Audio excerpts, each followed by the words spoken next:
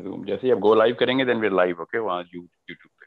Okay okay I think we are I just got a notification okay let's start it Bismillah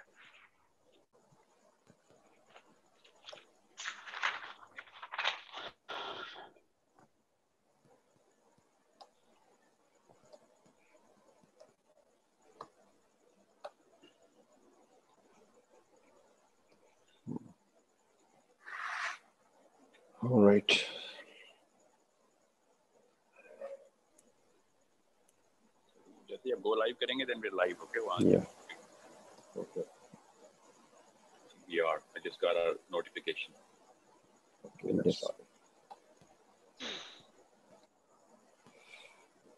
All right.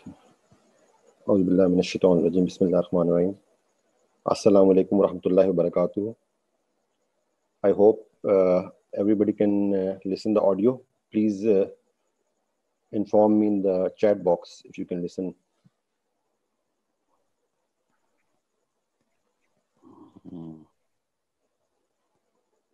okay message आ रहे हैं।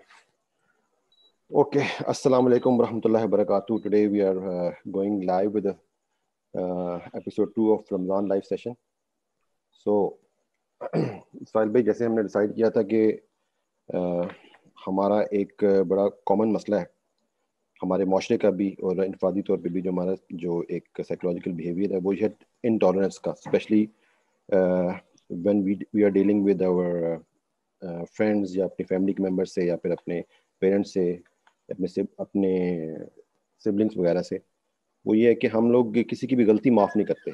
और चाहे वो छोटी हो बड़ी हो उसमें हम लोग या तो उसको ऑल टुगेदर अपने दिल में कोई ग्रज रख लेते हैं या फिर वो we carry that burden within our hearts ठीक है? और वो ultimately due to lack of communication कतः ताल्लुकी में रिज़ल्ट रिज़ल्ट करती है ये चीज़।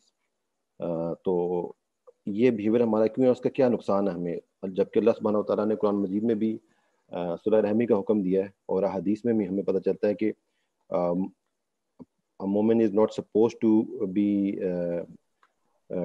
with his friend or parents or uh, siblings not for more than three days. तीन दिन से ज़्यादा जो है वो हमें किसी से नाराज़गी जो है वो कायम नहीं रखनी चाहिए और हमें जो है वो माफ़ी माफ़ी दे देनी चाहिए और अपने ताल्लुकात कायम करने चाहिए। So what's your take on this hmm असल में ना वंस उम्मत के कॉन्सेप्ट को ना बिल्कुल एक एलियन कॉन्सेप्ट समझ बैठे हमारी साइकोलॉजी में उम्मत की ट्रेनिंग नहीं है we are really well trained अल्लाह ताला ने इस्लाम के तमाम तर जो लेसन है ना वो फैमिली यूनिट के अंदर रखे हुए हैं इस्लाम की किसी को हकीकत चाहिए किसी को प्रूफ ऑफ़ कॉन्सेप्ट चाहिए, इस्लाम के तमाम उसूलों का, उनके, उसके रमूज का the source of the cause of the whole thing और उसको उसने देखना है होते हुए तो आप किसी भी एक नॉर्मल फैमिली यूनिट को देखेंगे तो आपको पता चलेगा कि जो आदम, हवा सलाम और उनके औलाद के साथ जो ट्रायंगल बनता था, वही ट्रायंगल ताला ने तमाम तर इंसानों के साथ क्रिएट करके ये सिस्टम ही ऐसा बनाया कि जिसमें आप दुनिया में आते ही ट्रेन हो जाते हैं। आपको वो रहम मिलता है।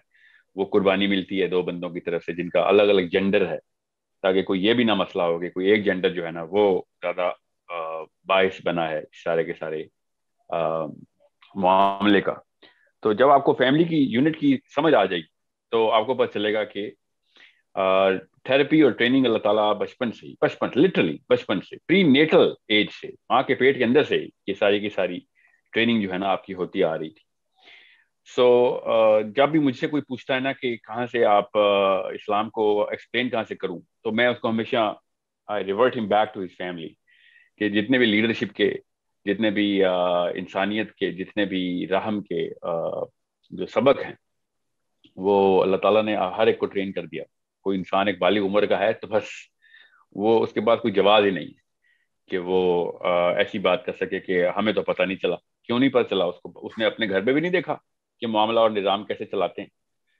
अब रही बात जो आपने जो बात की है कि कता ताल्लुकी की तो बिल्कुल सही आपने जड़ पकड़ी है। ये काफ़ी अंदर की आ, मतलब गहरी लेवल के ऊपर ये कैंसर है हमारे अंदर जो कि उम्मत के कॉन्सेप्ट को तोड़ा है। सो so, जिस तरह तेल के कतरे पानी में डाल दिए जाए ना तेल को पानी में डाला जाए तो कतरे अलग हो जाते हैं उनका बॉन्ड टूट जाता है आपस में। सो मोलिकुलर बॉन्ड वही रहता है मगर ओवरऑल उसकी हैयत खत्म हो जाती है तेल की। या पानी को तेल में डालें तो क्योंकि वो आपस में को कोहेसिवनेस नहीं होती उसके अंदर। तो ये बिल्कुल इसी तरीके से हमारा मामला हुए में इस वक्त तो उम्मत बिखरती कैसे है? कि जब कोई ऐसा एलियन कॉन्सेप्ट हमारे अंदर आ जाए जो कि हमारी केमिस्ट्री के अगेंस्ट हो और केमिस्ट्री कहाँ से आ रही है? वो फैमिली यूनिट से आ रही है। सो so, वो क्या अगेंस्ट uh, क्या हमारी फैमिली यूनिट के अगेंस्ट क्या चीज़ है? वो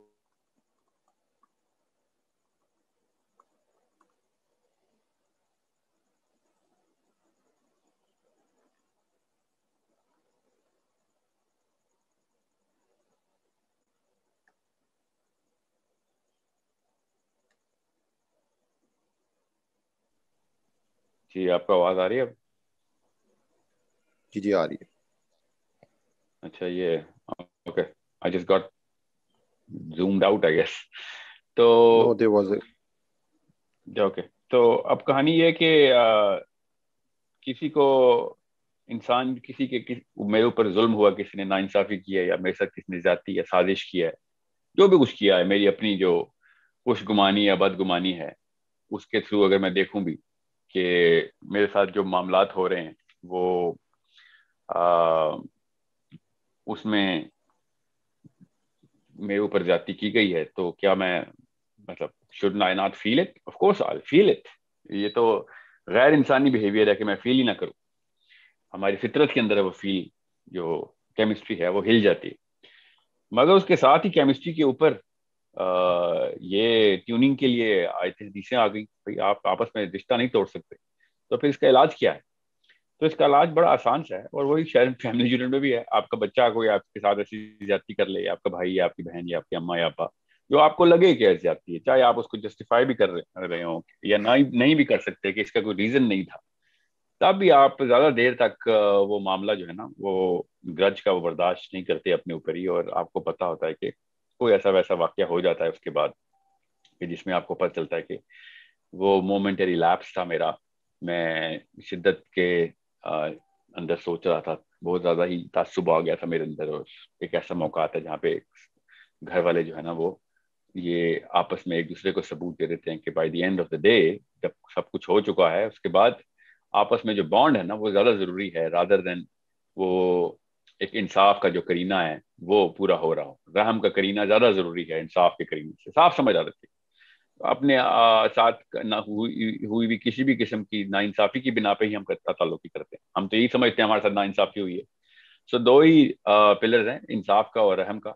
दोनों में से एक जो है ना, वो दूसरे को रिकवर करता है और वो रहम का जो है ना, वो मादा है हमारे अंदर।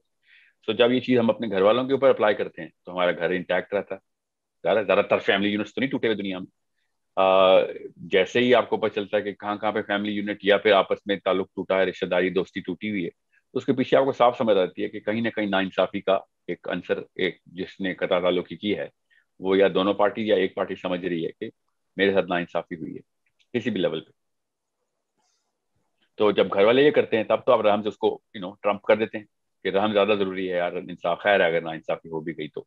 मुझे जितना ज़रूरत उस बंदे को मेरी है मुझे उस बंदे की रहम की है, वो उससे कई ज़्यादा ज़रूरत इंसाफ की है। और वहीं से आवाज़ आती है फिर अल्लाह ताला की रहीमियत का आंसर जो प्रिवेलेंट है। अल्लाह ताला ने क्यों बताया कि मेरी रहीमियत जो है ना, मेरी बाकी की सिफात के ऊपर हावी है? और हदीसें मतलब पूरी तरीके से फ़लसफ़ा, चीख चीख के ये फ़लसफ़ा हर हदीस से आया है कि अल्लाह की रहीमियत अगर उतनी ही होती जितना अल्लाह का इंसाफ है या कोई और सिफत है तो ये निज़ाम ना बाकी रहता। अल्लाह ताला ये रहीमियत का ही तकाजे हैं कि अल्लाह ताला हमें ढील भी देते हैं और फिर तोबा के ये जो हमें मोहलत मिल रही होती है। फिर ऐसी ऐसे गुनाहों के ऊपर हमारी पकड़ नहीं होती। या आखिरत के दिन किस तरीके से खुलेआम माफ़ी चल रही है कि किसी किसी बहाने से कोई इंसान जो है ना वो वो बच जाए। वो क्यों हो रहा है? वो हमारी फैमिली यूनिट के अंदर हमें नज़र आता है कि उसकी, हम, उसकी केमिकल ज़रूरत हमें हमें वो किस तरीके से पता चलती है एक पूरे के पूरे ग्रुप को इकट्ठा करने के लिए, इंसानों का जो, सात अरब इंसानों का ग्रुप अब अगर हम अपने अंदर देखें भी तो आपको आपको समझ आ जाएगी कि जहाँ जहाँ हमने कता ताल्लुकी किया वहाँ पे हमने रहम को कम किया इंसाफ को नहीं ऊपर किया, हमने वहाँ पे रहम को कम किया इंसाफ के ऊपर तो बड़े मामला हमने छोड़ दिए हैं। हम भी कभी कभी ना इंसाफी करते हैं किसी के साथ, कोई भी हमारे साथ भी ना इंसाफी होती है। और निन्यानवे फ़ीसद मौके के ऊपर जब ना इंसाफी होती है तो हम रहम से उसको धो देते हैं और खैर, एक दूसरे के ऊपर एहसान, रहम करके बात आगे कर देते हैं। अब जिस जिसने भी, जिस जिससे भी ताल्लुक तोड़ा हुआ है, वो ये सोचता है कि मुझसे ये बात भुलाई नहीं जाती। I deal with individual people as well मेरे ज़्यादातर काउंसलिंग के जो सेशंस होते हैं, उसमें सबसे पहले यही वाला यही वाला आंसर होता है, जब भी रिश्ता टूट रहा होता है कि मुझसे वो भूल, भुलाई नहीं जा रही है बात तो ये बात आपको मैं अभी बता दूँ सेशन के थ्रू ही कि भूलना आपके काम बस में है भी नहीं और ना ही कोई मकसद है भुलाने का। Therapy is not in the forgetfulness therapy is in the forgiveness not in the forgetfulness you can not forget about it भूलना, भुला भुला के ये काम नहीं होगा। ना ही आपके बस में बुलाना माफ़ करके ये काम होगा और माफ़ी करना एहसान है और एहसान जो है वो रहम के ऊपर खड़ा है। तो अगर आपके अंदर रहम का मादा ज़्यादा है तो फिर आपके रिश्ते नहीं टूटेंगे। और आप वाहिद वो बंदे होंगे कि जिसके ऊपर ज़्यादा होती भी है, फिर भी वो अगला जाके दरवाज़ा खट्टा खटकाता अगले दिन उसका। क्योंकि जिसने ना इंसाफी की होती है, अगर उसको पता है तो वो एक एम्बेरसमेंट की फीलिंग में होता है, इसलिए वो नहीं इनिशिएट कर रहा होता बात। और अगर उसको नहीं पता तो वो फिर, वो समझ रहा होता है कि आप ना इंसाफ हैं। तो जो पहला इनिशिएटिव लेता है अल्लाह ताला के नबी इस्लाम ने, उसको कितनी बिशारतें दी कि जो पहला इनिशिएटिव लेगा ताल्लुक बढ़ाने का। आप हदीसें पढ़ें तो आपको पता चलता है कि उस बंदे का दर्जा अल्लाह के नबी साहब ने कैसे बताया। कि जब ताल्लुक टूट रहा हो और बनाने के लिए जो पहला इनिशिएटिव लेगा उस बंदे की क्या खसूसियत अल्लाह ताला के नबी इस्लाम को पसंद आई है। सो so, मगर हमें नबी की और कुरान की आयतों से ज़्यादा अपने उस इंसाफ के उस डिमांड होती है के और हम अपने आप को अल्लाह ताला के निज़ाम पर जस्टिफाई कर रहे होते हैं कि नहीं मेरे साथ ना इंसाफी तो मैं तो आखिरत में देखूँगा इसको। ऐसे काम ना करें आखिरत का इंतज़ाम जो है ना वो बहुत सख्त है।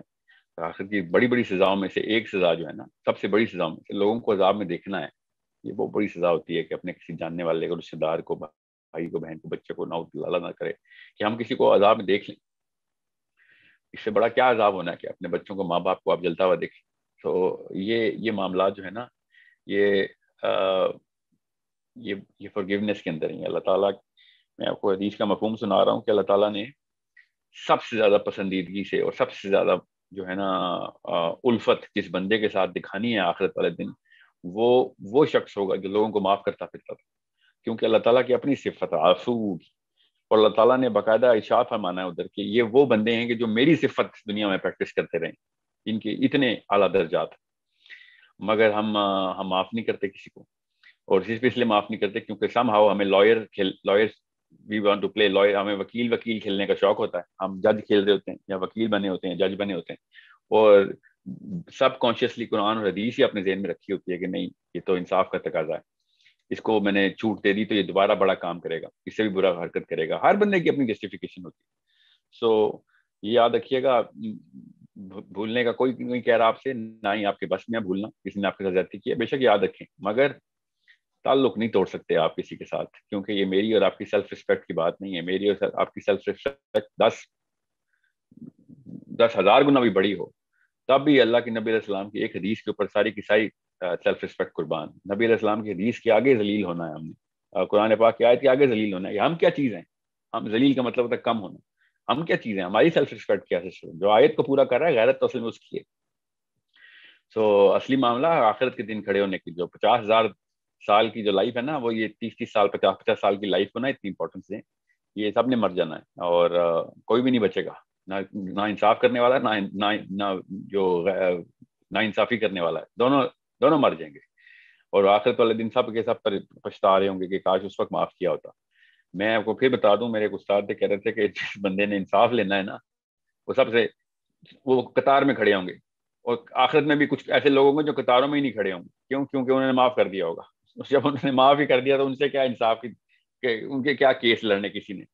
क्या खूबसूरत फलसफा उनका था। और वो हमेशा हमेशा इस इस इस पत्थर को तोड़ने के लिए कह रहे थे कि जो हम अपने दिल में गरज कीना का और आ, आ, अनाद का जो पत्थर हमने रखा होता है उसको तोड़ते रहेंगे। तो वहाँ पे वहाँ पे क्यों में नहीं खड़ा होना पड़ेगा? वो कतार जो है ना वो पचास हज़ार साल की कतार है। उधर उस कतार में खड़े होने से ही आपको पता ना आखिरत में लोग अपने पसीने तक में डूब चुके होंगे। इतना इतना मामला खराब हो रहा है वहाँ पे। तो वहाँ पे क्या इंसाफ की तो करनी है आपने? आ, मतलब आ, मिलेगा तो सब कोई। जो इंसाफ चाहता है वो फिर कतारों में खड़ा होगा। जो इंसाफ जो छुट्टी चाहता है वहाँ पे वो यहाँ पे माफ़ करता होगा। जब अल्लाह ताला ने खुद कह दिया है कि माफ़ी करने वाले को अल्लाह ताला सबसे ज़्यादा पसंद करते हैं कुरान पाक में। एहसान करने वाले को जो हिब्बुलमहसिन तो हम फिर हम हमने पता नहीं क्या एक दुनिया बना ली है कि जिसमें हमने हर जगह कटहरे खड़े किए हैं। और अपनी माओ तक को कटहरों में खड़ा कर देते हैं हम। ऐसे जुल्म, ऐसा हमारे अंदर आ गया। जुल्म जुल्म है। इंसाफ का जो है ना तजाद जो है वो नाइंसाफ़ी है। जुल्म है। तो हम ये समझते हैं कि हमने इंसाफ ना किया तो जुल्म कर रहे होंगे। हालाँकि जो रहम ना करे, असल में जालिम तो वो है। तो रहम जो है वो वो वो नाइंसाफ़ी और इंसाफ के कटहरे की दुनिया में नहीं आता। रहम is a totally different world so मियाँ बीवी की तलाक हो जाए सारी सारी उम्र बात नहीं होती। दो मुसलमान थे आपस में बच्चे भी हैं बात नहीं होती। क्यों? क्योंकि मुझे मुझसे भूलना भुलाया नहीं जाता। आप बेशक ना भूलें माफ़ करें अल्लाह के लिए।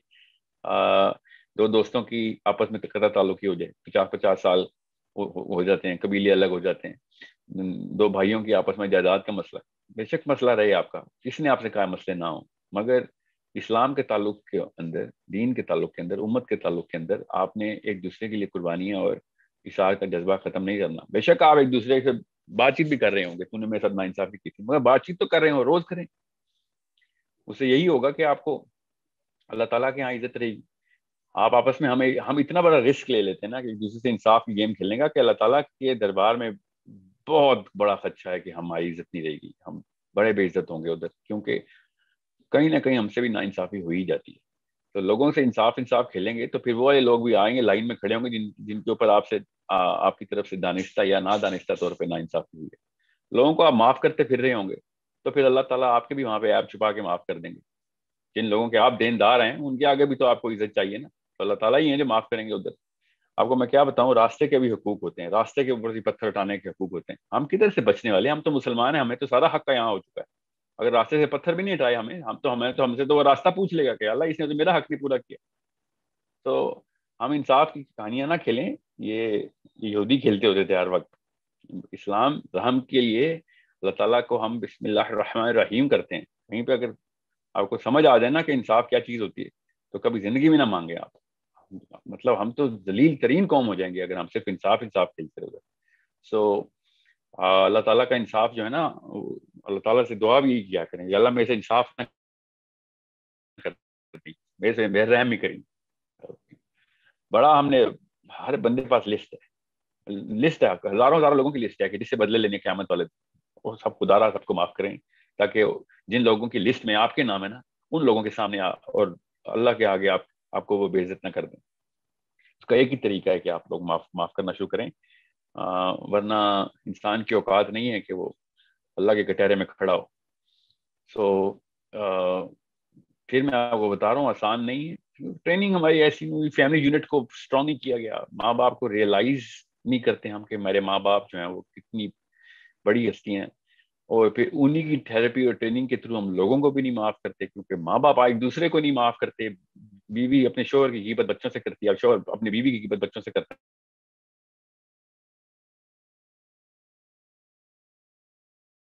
हम रहम के ऊपर पल नहीं रहे तो हमारे बच्चे आगे से बेरहम हो रहे हैं। सो so, ये एक विशेष सर्कल है उसको तोड़ें और वो सिर्फ़ माँ या बाप ही तोड़ सकते हैं और कोई नहीं खुदा की कसम कोई नहीं तोड़ सकता। कैसे तोड़ेगा कोई? मेरे बच्चे को आगे कोई और ट्रेनिंग देगा।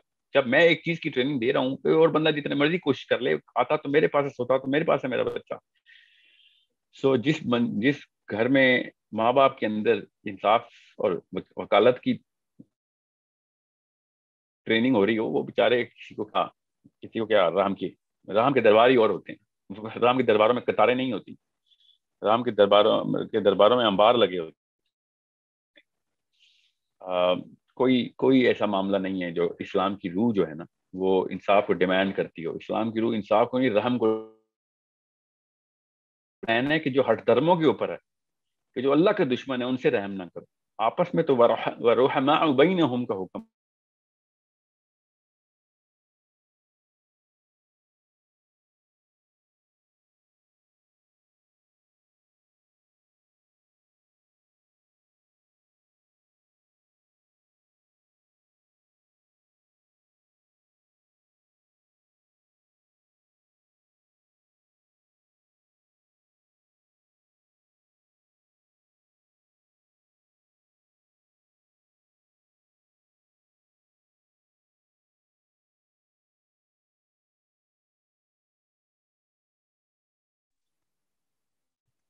आपको आवाज़ आ रही है अब?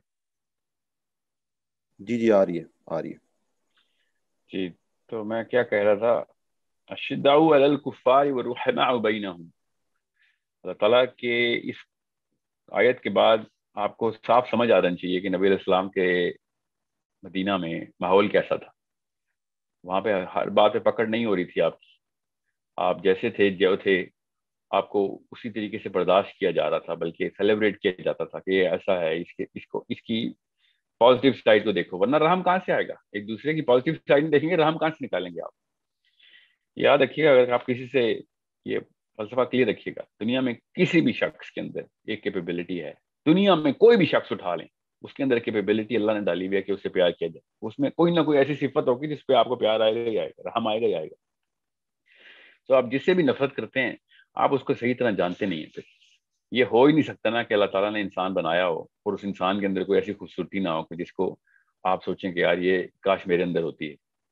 तो ये सिफत जो है ना अल्लाह ताला की है जिसमें जो कि अपने आसान तकवीम से ऐसे ऐसे राज छुपा देता है अपनी अपनी क्रिएशन के अंदर।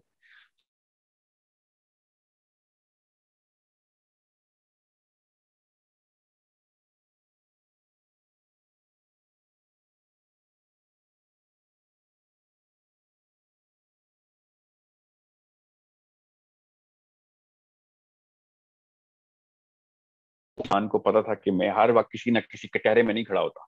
आप पाकिस्तान क्या इंडिया क्या इस वक्त अमरीका क्या नॉर्वे क्या? आप सड़क क्रॉस करें तो कोई ना कोई चीज़ कोई ना कोई बंदा आपको किसी ना किसी रस्सी से खींच रहा होता है कि इधर तुझसे ये हुआ तुझे तो नहीं माफ़ करूँगा मैं।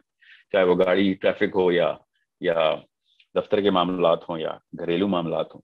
सो so, ये एक नेगेटिव के वो वाली कौमों में कुछ ज़्यादा ही होती है जिन कौमों के ऊपर वैसे भी ज़्यादा सर्वाइवल के प्रेशर होते हैं इकोनॉमिक प्रेशर होते हैं। अगर रहम के ऊपर बने होते, हमारे घर वाले घराने हमारे रहम के ऊपर बने होते, खुदा की कसम, एक रत्ती भी बराबर असर ना होता हमारे ऊपर इकोनॉमिक प्रेशर का। मगर क्योंकि हम वैसे ही हर वक्त कटहरे में खड़े करते हैं दूसरे को, और ऊपर से इकोनॉमिक प्रेशर है तो वो हंड्रेड टाइम्स एम्पलीफाई हो जाता है हमारे।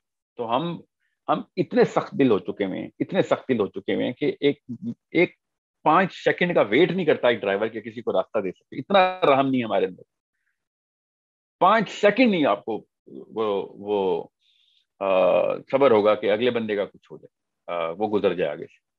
So, जित ये एक छोटी सी एग्ज़ाम्पल दे रहा हूँ एक माशरे में रहम बेरहमी के so, ये जो सेल्फिशनेस है ना ये आती भी बेरहमी की वजह से ही है। राम का है राम होगा तो सिलसिला सो जाएँगे। आप लोगों पर राम करना मकसद ही सेल्फिशनेस के मुतजाद है। उसके एंटी फोर्स ही कोई और। अंडरस्टैंड द बिगर इक्वेशन जिस वजह से हम दुनिया में आए हुए हैं। उम्मत का लफ्ज तो बहुत बड़ा है, बहुत ही बड़ा है। ये तो हो ही नहीं सकता। आप अपने साथ वालों को नहीं इकट्ठा कर सक रहे हैं तो उम्मत में क्या इकट्ठा होना किसी आप देखें, आप किसी आलिम ने कोई एक बात गलत कर दी हो, कोई एक बात, पूरी दुनिया उसको पीछे बढ़े थे इसलिए क्या बात कर बाकी की सारी मेहनत जाया उसकी। इतने बेरहम हम। हमें समझ ही नहीं आती कि 99 परसेंट पूरी लाइफ अपनी वो सही काम बताता भी रहा, मगर उसने बस वो उस दिन ये बात कर दी फिर किसी पॉलिटिशियन ने ये कह दिया तो किसी मेरे यू नो घर के बड़ों ने ये कर दिया, मेरे बॉस ने ये कह दिया, उस खातून ने ये कह दिया तो उस मर्द ने ये कह दिया। हर वक्त, हर मौके पे हम एक माइक्रोस्कोप लेके बैठे हुए हैं बस कीड़े निकाल लें किसी के और जज करके लेबल कर लेंगे इसके इसके अंदर ये मसला है। तो मसले तो हैं हर बंदे के साथ। मेरा नाम जबरील तो नहीं है, ना मेरा नाम मिकाइल है, मेरा नाम साहिल है, मसले तो होंगे मेरे साथ। मेरे घर वालों को मैं कैसे बर्दाश्त होता हूँ? क्योंकि एक दूसरे के साथ रहम करते रहे। तो बाकी के लोगों से क्यों नहीं बर्दाश्त होता? बिकॉज़ वो सिर्फ़ अपने अपने घर वालों से ही रहम करते एक्चुअली चूँकि वहाँ पे भी सही तरह नहीं कर रहे तो कॉन्शियसली नहीं कर रहे कि उसका फ़ायदा क्या है। तो बाकी की जगह पे भी नहीं अप्लाई करेंगे वो। सो so, दुनिया में कोई एक बंदा भी बता दें जिसमें कोई मसला नहीं है तो फिर तो मैं कह दूँगा हाँ ठीक है हम सब लोगों पे इंसाफ ही होना चाहिए। अगर सबके सब में कोई ना कोई मसला है तो फिर गैर रहम के कैसे कैसे गुजारा करेंगे हम आपस सात अरब लोग इकट्ठे हो गए हम। पौने दो करोड़ की मुसलमान है। How can you possibly fathom the fact की उम्मत इकट्ठी होगी जब तक एक दूसरे पे इंसाफ करते रहेंगे। कभी भी नहीं होगा। इंसाफ से नहीं इकट्ठी होगी उम्मत। बिल्कुल ज़रूरी है इंसाफ। में कोई शक नहीं है। मगर आपस में कथा तालुकी इंसाफ की बिना पे नहीं तोड़ी जाती। कथा तालुकी को जहर को जाहिल करना है तो राम की बिना पे करना ये ये इसको स्क्यू मत कीजिएगा कि सर इंसाफ खत्म करवा रहे हैं आप मुआशरे से। नहीं, मैं मुआशरे से इंसाफ नहीं खत्म करवा रहा हूँ। मैं ताल्लुकात के अंदर हर बात के ऊपर में खड़ा करने की बीमारी को खत्म करने की कोशिश कर रहा हूँ। So I hope it's shorts पर I don't gonna take much time on this तीन अलग अलग एंगल से मैंने ये बात समझाने की कोशिश की है ताकि दिमाग के अलग अलग हिस्सों में जहन के अलग अलग तारों को इकट्ठा किया जा सके। तो I hope it's going to be very clear Quran पाक ने वरुहमा उबई हम कह दिया है तो बस आप ये हो ही नहीं सकता कि हमारे ऊपर कुछ इज़्ज़त बाकी रहे। सूर्य फतह की आयत सुनाई मैंने और हमा उबैना हूँ ये आ, इतनी बड़ी सिफत है उन लोगों की कि जब वो ये किस आयत के बाद दीन कुल्ली। ये उसके फ़ौरन बाद की आयत सुना। जब नबी इस्लाम ने मुशरा बना दिया ये दीन ये दीन जो है ना पूरी दुनिया के ऊपर गालिब होगा। देखेंगे आप अल्लाह ताला सूर्य फतह में कह रहे हैं, देखेंगे आप। तो क्या सिफत बताई फिर उन लोगों की? सिफात की लिस्ट है सूर्य फतह और उसके बाद क्या सिफत, पहली सिफत है, क्या बताई कि ये अशिदाकुफ़ार अल्लाह ताला के यहाँ जब कोई मामला अल्लाह के खिलाफ जा रहा होता है, उस पर सख्ती करते हैं, वरना आपस में ये सिर्फ़ राम करते हैं, सिर्फ़ आपस में राम करने वाली कौम बनाई है मैंने। ये वो, ये है वो तरीका जिससे दीन गालिब होगा। अब हम लेकिन समझ ही नहीं रहे। So it's it's a big problem माँ समझाएगी बच्चे को, और बाप समझाएगा बच्चे को। कि दुनिया में तकलीफें तो आएँगी, ताल्लुक ना तोड़ दें। बेशक याद रखी, मगर माफ़ कर दें। भूलने की ज़रूरत नहीं है, मगर माफ़ करने की ज़्यादा ज़रूरत है। मैं तो ज़ाहिर है, भूल तो खुद ही जाएगा बंदा। हज़ार मसले हुए हैं मेरे भाई के साथ, मेरे बहन के साथ, अम्मा के साथ। कौन याद रखता है? जब माफ़ कर दिया तो खुद ही उसका असर ख़त्म हो जाता है। और माफ़ करने के लिए आसान सी थेरेपी है। मैं आपको बता देता हूँ। मुझे भी बताई गई थी, मैं नौ साल का था जब बताई गई थी जिन लोगों से भी नफरत करते हो उनके नाम लिख लो और जब नमाज़ में बैठते हो तो उनके लिए दुआएँ किया करो। जो चीज़ अपने लिए मांगते हो, सबसे पहले उनके लिए मांगो, जिनके लिए जिनसे नफरत करते हो। बच्चे को अगर इस तरह की ट्रेनिंग मिलेगी तो तो समझ आ जाएगी कि इतनी ज़रूरी चीज़ नहीं है लोगों को लोगों को के साथ लोगों को यू नो इंसाफ इंसाफ खेलना। माफ़ कर दें बस। जिन लोगों से आप नफरत करते हैं और जो आप समझते हैं कि आपसे वो नफरत करते हैं, उनके लिए दुआएँ किया करें, अल्लाह ताला से अकेले में नमाज़ के दौरान। खुद ही खत्म हो जाएगा ये सारा मामला। इससे बेहतर थेरेपी तो कोई नहीं है। जब अकेले में तन्हाई में अपने रब के सामने हो और आप उन लोगों के लिए दुआएँ कर रहे हो जिनसे आपके दिल में नफरत किया वो है ना जज्बात हो वो खुद ही अल्लाह ताला पे साफ़ कर दें इंशाल्लाह। So let's just take the questions I I I hope I made the point किए बहुत ही ज़रूरी बात आपने की थी इसलिए मुझे तरह तीन अलग अलग एंगल्स पे इसको बताना पड़ा। Uh, जो मामला रहा सवाल जवाब का तो कोशिश कीजिएगा इसी टॉपिक से रिलेटेड हूँ। जजाकल्ला साहिल भाई फॉर द क्लैरिफिकेशन अच्छा एक क्वेश्चन मेरे अपने जहन में आ रहा है कि ये जो हम जब अपनी कत तलकी की बात कर रहे हैं और माफ़ी की बात कर रहे हैं तो ये माफ़ी से क्या मुराद है? यानी कि आप एक कोई एक शख्स है जिसने आपके साथ शायद बहुत बुरा किया है और आप चाह के भी उसकी जो वो, उसकी नेगेटिव फीलिंग या इमोशन आपको पता है कि they are not going to go away even if you reconcile with him तो आपके दिल से तो वो बात नहीं जाएगी। ठीक है, आप एक वर्किंग रिलेशनशिप रख लेंगे उसके साथ और अल्लाह तआला के हुक्म के मुताबिक आप उसको माफ़ी भी दे देंगे। लेकिन वो अब आपके दिल से बात नहीं जा रही और आप अपने आप को प्रोटेक्ट करना चाहते हैं from from getting yourself harm again in the future तो उस कॉन्टेक्स्ट में फिर क्या ये सुलह रहमी जो है अल्लाह ताला की यहाँ मकबूल नहीं होगी इस किस्म की, जिसमें आप प्रोटेक्टिव भी हों अपने लिए? माफ़ किया ही उसके साथ, उसको जाता है जिसने ज्यादती की हो। जिसने इंसाफ किया, उसको क्या माफ़ करना? बिल्ला वो कौन है जो कि अपने मुनसिफा को माफ़ करता फिरता है? माफ़ का तो मतलब ही है कि जिसने आपके साथ ज्यादती की है। तो ये कोई बना कहे ना, नहीं, आप तो उन लोगों को, जालमों को माफ़ करने के लिए अल्लाह कह रहा है, मैं थोड़ी कह रहा हूँ। जिसने जुल्म किया, उसको माफ़ कर, और किसको माफ़ करते हैं मुझे बताएँ? किसी मतलब किसी कमज़ोर को माफ़ करते हैं आप? आप बताएँ किसी इंसाफ पसंद बंदे को जिसने आपके साथ हुसन सलूक किया उसको माफ़ करते हैं। बिल्कुल भी नहीं। हम्म। माफ़ तो करता ही उसको है जिसने ज़्यादा की हो। तो जब अल्लाह ताला हमें माफ़ कर ही जा रहे हैं और फिर तब कहीं जाके पता चलता है। मैं आपको आसान सी मिसाल देता हूँ। मैथ्स की क्वेश्चन मैथ्स की क्वेश्चन रन कर लेते हैं। अगर मुझे मेरे पहले गुना पर पकड़ हो जाती तो मैं बचा होता। कॉमन हम्म। सेंस की मैथ्स की क्वेश्चन अल्लाह ताला ने कहा कि अल्लाह ताला मोहलत क्यों देते हैं ताकि इंसान अपने पोटेंशियल पे आए रियलाइज़ करे तोबा करे और कोई बड़े काम करे। अल्लाह ताला ने भी इंसानों के अंदर जो निज़ाम रखा, वो माफ़ करने का ऊपर रखा, वरना हम कोई बंदर होता, कोई सुअर होता, कोई कोई कोई मर चुका होता, कोई पता नहीं किस अजाब में जल रहा होता। अल्लाह ताला के नबी इस्लाम की दुआ हमारे ऊपर इस तरीके से अल्लाह ने रहम कर दिया वरना हम पे अजाब नहीं नहीं आते ना फिर देखें, कोई ना कोई पोटेंशियल कर लेते हैं। बड़े बड़े लोग हैं जो तोबा ताइब होते हैं वैसे ऐसे काम कर लेते हैं दुनिया में। अल्लाह ताला ने ये साफ़ मिसाल दे के बता दिया कि इस तरीके से अगर हमें रखा ना कि, नहीं, कल को वो ये कर देगा, आप अल्लाह के लिए माफ़ कर रहे हैं, उसके लिए थोड़ी माफ़ कर रहे हैं आप। कल को ज़्यादा बड़ी जाति करता है ठीक है? मैं, मैं समझ सकता हूँ। आपको क्या पता कल क्या पता ना बड़ी जाति करे माफ़ करने की वजह से उसका ज़्यादा बड़ा मादा क्रिएट हो वो और अच्छे काम भी करे। आप समझ रहे हैं एक इंसान ने आपके साथ जाति किया है और आप अकेले ही है दुनिया में बाकी लोगों के साथ और सिला नहीं कर रहा हो। क्या पता क्या एहसान कर रहा है किसी के साथ क्या क्या दिन के काम कर रहा है। क्या पता आई डोंट नो क्या पता ना करता और हम सेइंग आप और वो बंदे नहीं है दुनिया में खाली।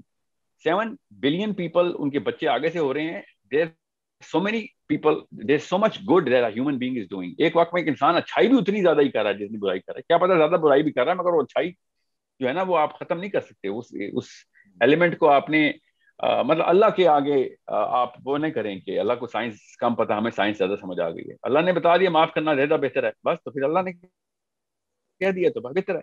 आप देखें आप कितने कितने एंगल से आपको उसकी बेटी नज़र आती है कि अपने ऊपर अप्लाई करें तो पता चलता है हाँ यार मैं तो बारह साल में मारा जाना मारा जाना चाहिए था, पंद्रह साल में मारा जाना चाहिए था, बीस साल में मारा जाना चाहिए था, एक एक रोज मारा जाना चाहिए था।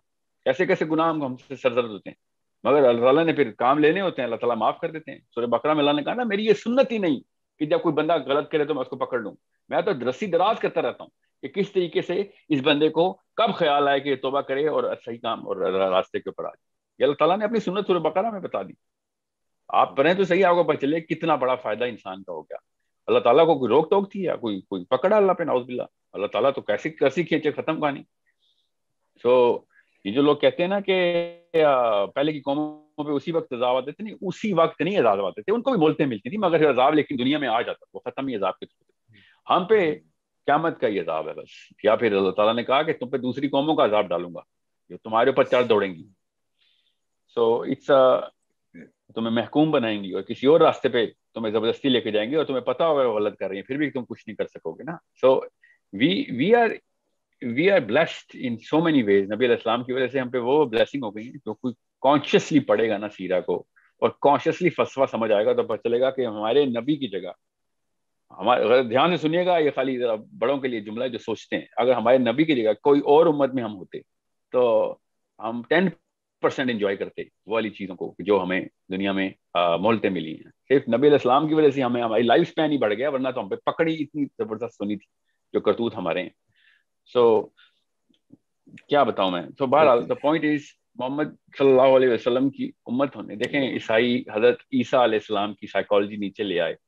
हमने पता नहीं क्यों नबी इस्लाम की साइकोलॉजी नीचे नहीं लेके आए। नबी इस्लाम की साइकोलॉजी नीचे लेके आएँगे तो पता चलेगा कि हमारे साथ डेढ़ one point five one point seven five billion पौने दो अरब मोहम्मद चाहिए थे ना दुनिया में। पौने दो अरब मोहम्मद होते तो आप सोचें, एक एक नबी इस्लाम ने, एक शख्सियत ने क्या कर दी? अगर हम बोले सुनते पूरी कर रहे होते तो क्या हालात होने थे? इंसाफ की ज़रूरत होनी थी। ज़रूरत ही नहीं पड़नी थी इंसाफ मगर नहीं, हमने वो बस साइकोलॉजी पकड़ी।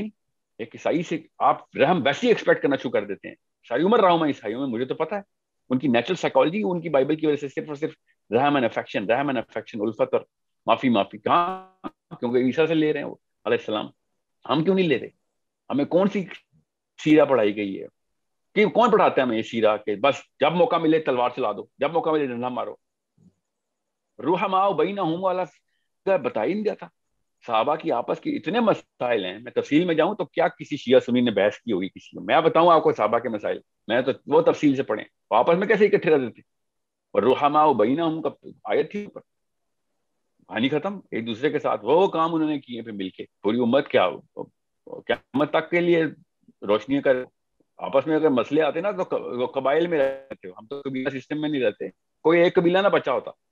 अब खाली औस और खजरत के आप खजरत के आपसी मसाइल पढ़ लें तो आपको पता चले कि किस तरीके से शूट एट साइड का ऑर्डर होता है बंदे गलियों में छुप के जाते होते थे मदीना के जब तक इस्लाम नहीं आया।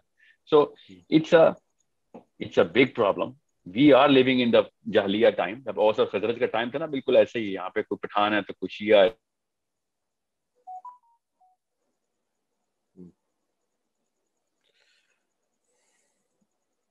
I think Sahil Bhai's uh, signals have dropped. ये मेरे सिग्नल्स की वजह से हो रहा है आप ये समझ रहे हैं? जी जी। हाँ जी आपके सिग्नल जो है वो कम है तो बीच में बात ड्रॉप कर दिया अच्छा। Anyways uh, so बहरहाल so it's a it's a it's a problem where देखें मैं आपको एक मिसाल देता हूँ आपको पता चले कि अल्लाह के लिए अगर आप कर रहे हैं ना अल्लाह के लिए कर रहे हैं तो फिर कैसे होता है? अब्दुलरहमान बिन अबू बकर अपने वालिद सैयद अबू बकर सिद्दीक से एक दफ़ा कहते हैं कि बदर तक ना वो मुसलमान नहीं हुए थे। तो कहते हैं कि अब्बा जी, जब वो मुसलमान हो गए तो उन्होंने कहा कि अब्बा जी, आपको पता है कि बदर की जब लड़ाई हो रही थी ना तो मैं आपके पीछे आया और आप मेरी तलवार की जद में आ गए थे और मैंने तलवार मार देनी थी आपको, बचना नहीं था आपने, मगर फिर मुझे दिल में रहम आ गया कि मेरा बाप है।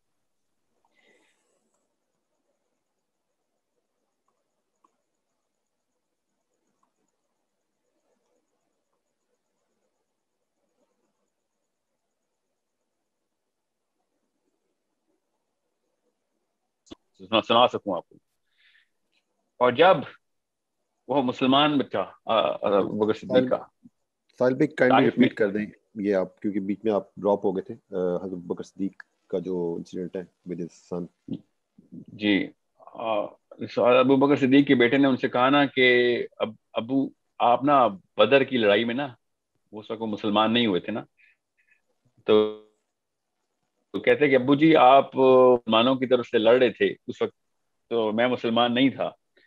और मैं पीछे से ना आप पे आके वार करने लगा था, क्योंकि आप मेरे तलवार की जद में आ गए थे। मगर मेरा दिल में रहम आ गया कि मेरा बाप है और मैंने आपको छोड़ दिया। तो हज़रत बकर सिद्दीक ने बरमला कहा कि बेटा, शुक्र तू कर कि तू मेरी तलवार की जद में नहीं आया था। नहीं तो मैंने नहीं तुझे छोड़ना था उस वक्त। मैं तो एक सेकंड ना लगाता तुझे कत्ल करने में, क्योंकि तू अल्लाह का दुश्मन था उसका और वही बच्चा जब ताइफ में शहीद हो गए तो ताइफ का ताइफ के लोग जब मुसलमान हुए तो वो आए और कबीला पूरा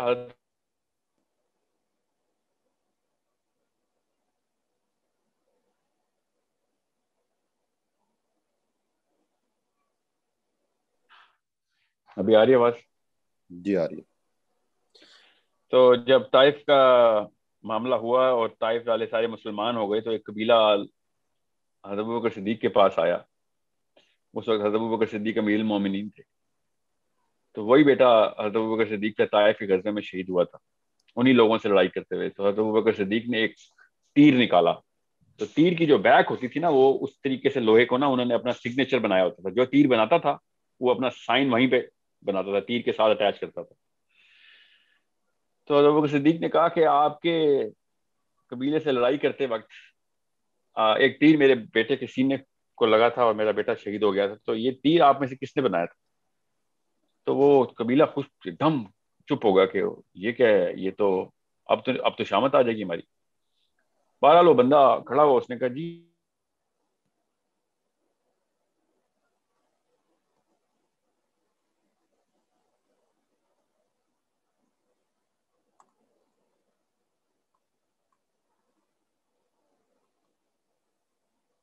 बेटा याद रखिएगा जो बदर में मुसलमान नहीं था, जिसका मैं वाक्य सुना रहा हूँ। तो हज़रत सिद्दीक रोना शुरू हो गए। उन्होंने कहा कि ये इस तीर से मेरा बेटा शहीद हुआ था। आज आप ना अपने अपने बच्चों की शक्ल सामने रखी, आपको पता चले कि कितना बड़ा वाक्य है। और अबू बकर सिद्दीक ने फिर उस बंदे को गले लगाया और उसको फिर हदीस सुनाई कि जन्नत में दो वो शख्स सबसे ज़्यादा आपस में रहम हो रहम करेंगे एक दूसरे पे, मोहब्बत करेंगे एक दूसरे से, कि जो एक दूसरे की वजह से जन्नत में आए। और सबसे ज़्यादा क्लोज कौन होगा कि वो कातिल जिसने कत्ल किया मुसलमान को और शहीद किया और वो जन्नत में पहुँच गया, जो शहीद था। और बाद में ये कत्ल मुसलमान हुआ और अल्लाह ने उसको माफ़ किया और वो जन्नत में पहुँच गया। ये दोनों एक दूसरे की वजह से जन्नत में। तो अब अगर सिद्दीक ने जब उनको गले लगाया तो वो दोनों रोना शुरू हो गए कि ये कैसे अल्लाह ताला का दीन कैसे एक दूसरे, ऐसे दिलों को मुसखर करता है कि अपने बेटे के कातिल को कैसे गले लगा रहा हो। तो ये चीज़ माफ़ हो रही है, क्योंकि अल्लाह अल्लाह के लिए माफ़ की जा रहा है कि अल्लाह ताला का बिलीफ और दीन इस्लाम किस तरीके से हमारा जो है ना मामला का क्राइटेरिया रखता है। आप करके दिखाएँ, माफ़, बच्चे को किसी ने वैसे कुछ कह दिया हो कि बच्चा प्यारा नहीं है, सारी उम्र ताल्लुक नहीं रखेंगे। बच्चा कत्ल किया हो हमारा, और हम उसको इसलिए माफ़ करेंगे, वो मुसलमान हो गए। तो साफ़ समझ आ जाती है कि जो बंदा दीन पे आएगा तो वो सिर्फ़ रहम के ऊपर प्रैक्टिस करे वरना कैसे कैसे कोई भूल सकता है, किसी का बच्चा मारा हो जिसके बच्चे हैं, उसको पता है। उसको पता है कि कितना बड़ा वाक्य है। जिसके बच्चे नहीं है, उसको समझ नहीं आएगी कि कितना बड़ा वाक्य हो गया। और वो पूरा कबीला धाड़े मार के रो रहा है। ये दो बंदे गले मिल रहे हैं आपस और अमीर मुबारक बातें और उसको वो शुक्रिया अदा करेंगे। तेरी वजह से मेरा बच्चा इस वक्त जन्नत।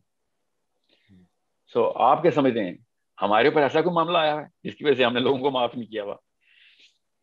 सो so, एक और ये मौलाना इसाक का मुझे एक वाक्य याद आ रहा है। मौलाना इसाक ने वाक्य सुनाया कि आई थिंक बसरा में थे जो इबन अरबी के स्टूडेंट थे।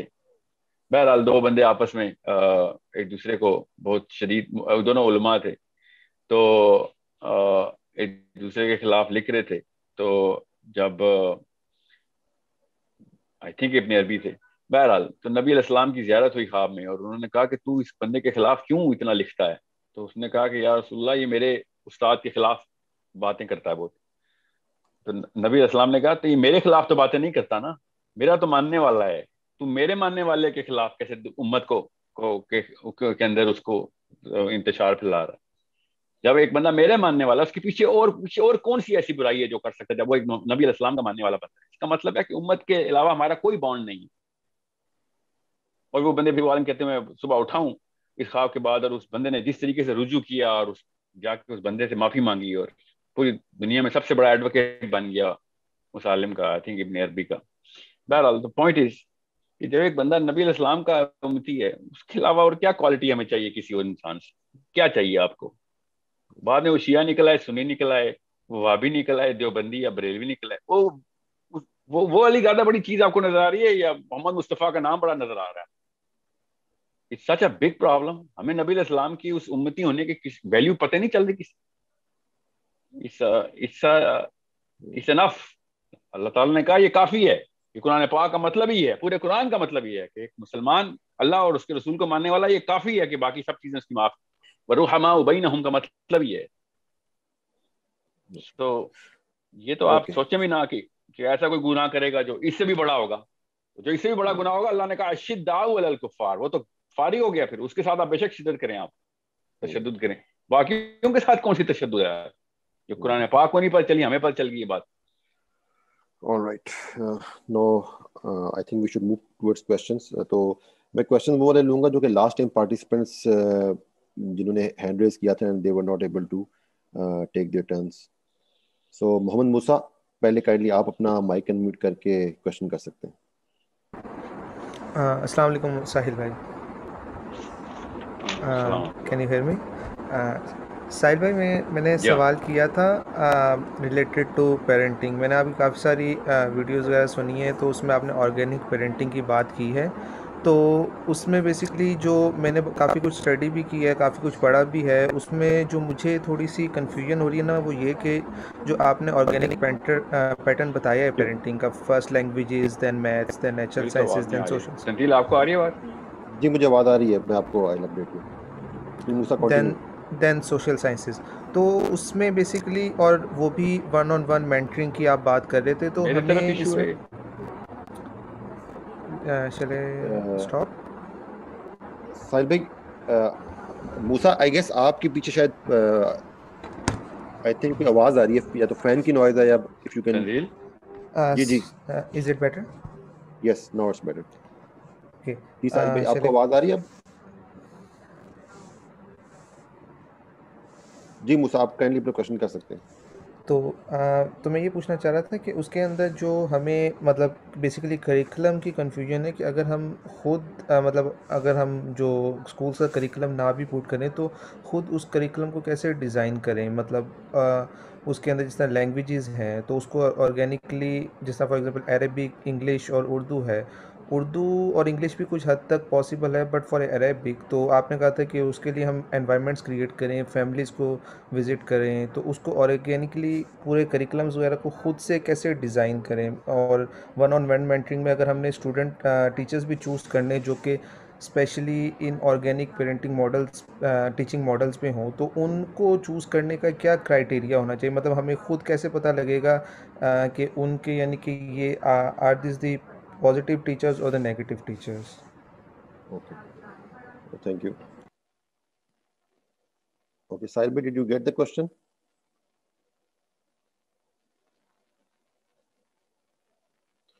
hello जी मुझे आखिर से आवाज़ आई है जब तक उन्होंने लैंग्वेजेस की बात की है तब तक तो उससे पहले वाला जो सवाल है उसका आप खुलासा मुझे बता दें। मैं लैंग्वेजेस वाली बात बता देता हूँ कि जी जी क्वेश्चन मैं रिपीट कर देता हूँ। जस्ट आस्किंग के जिस आपने एक ऑर्गेनिक पेरेंटिंग का मॉडल बताया कि फ़र्स्ट सेवन ईयर में वो लैंग्वेज सीखेगा, उसके बाद सोशल साइंसेस सीखेगा and then fourth on mathematics and then जो जनरल साइंसेज है। तो वो कह रहे हैं कि how are we going to design this course at our own हम कैसे इसको डिज़ाइन करेंगे, कैसे डिसाइड करेंगे लैंग्वेज बच्चा कौन सी सीखेगा, किस टीचर से सीखेगा? एंड अदर थिंग वाज के अगर हम उर्दू इंग्लिश को पढ़ानी है तो हमें कैसे पता चलेगा कौन सा टीचर जो है? वो बेस्ट है उसके लिए। How will we design it at our own ठीक है, हम स्कूल को फॉलो नहीं करते। Language is not a technical science for a child. It's a very technical science for an adult.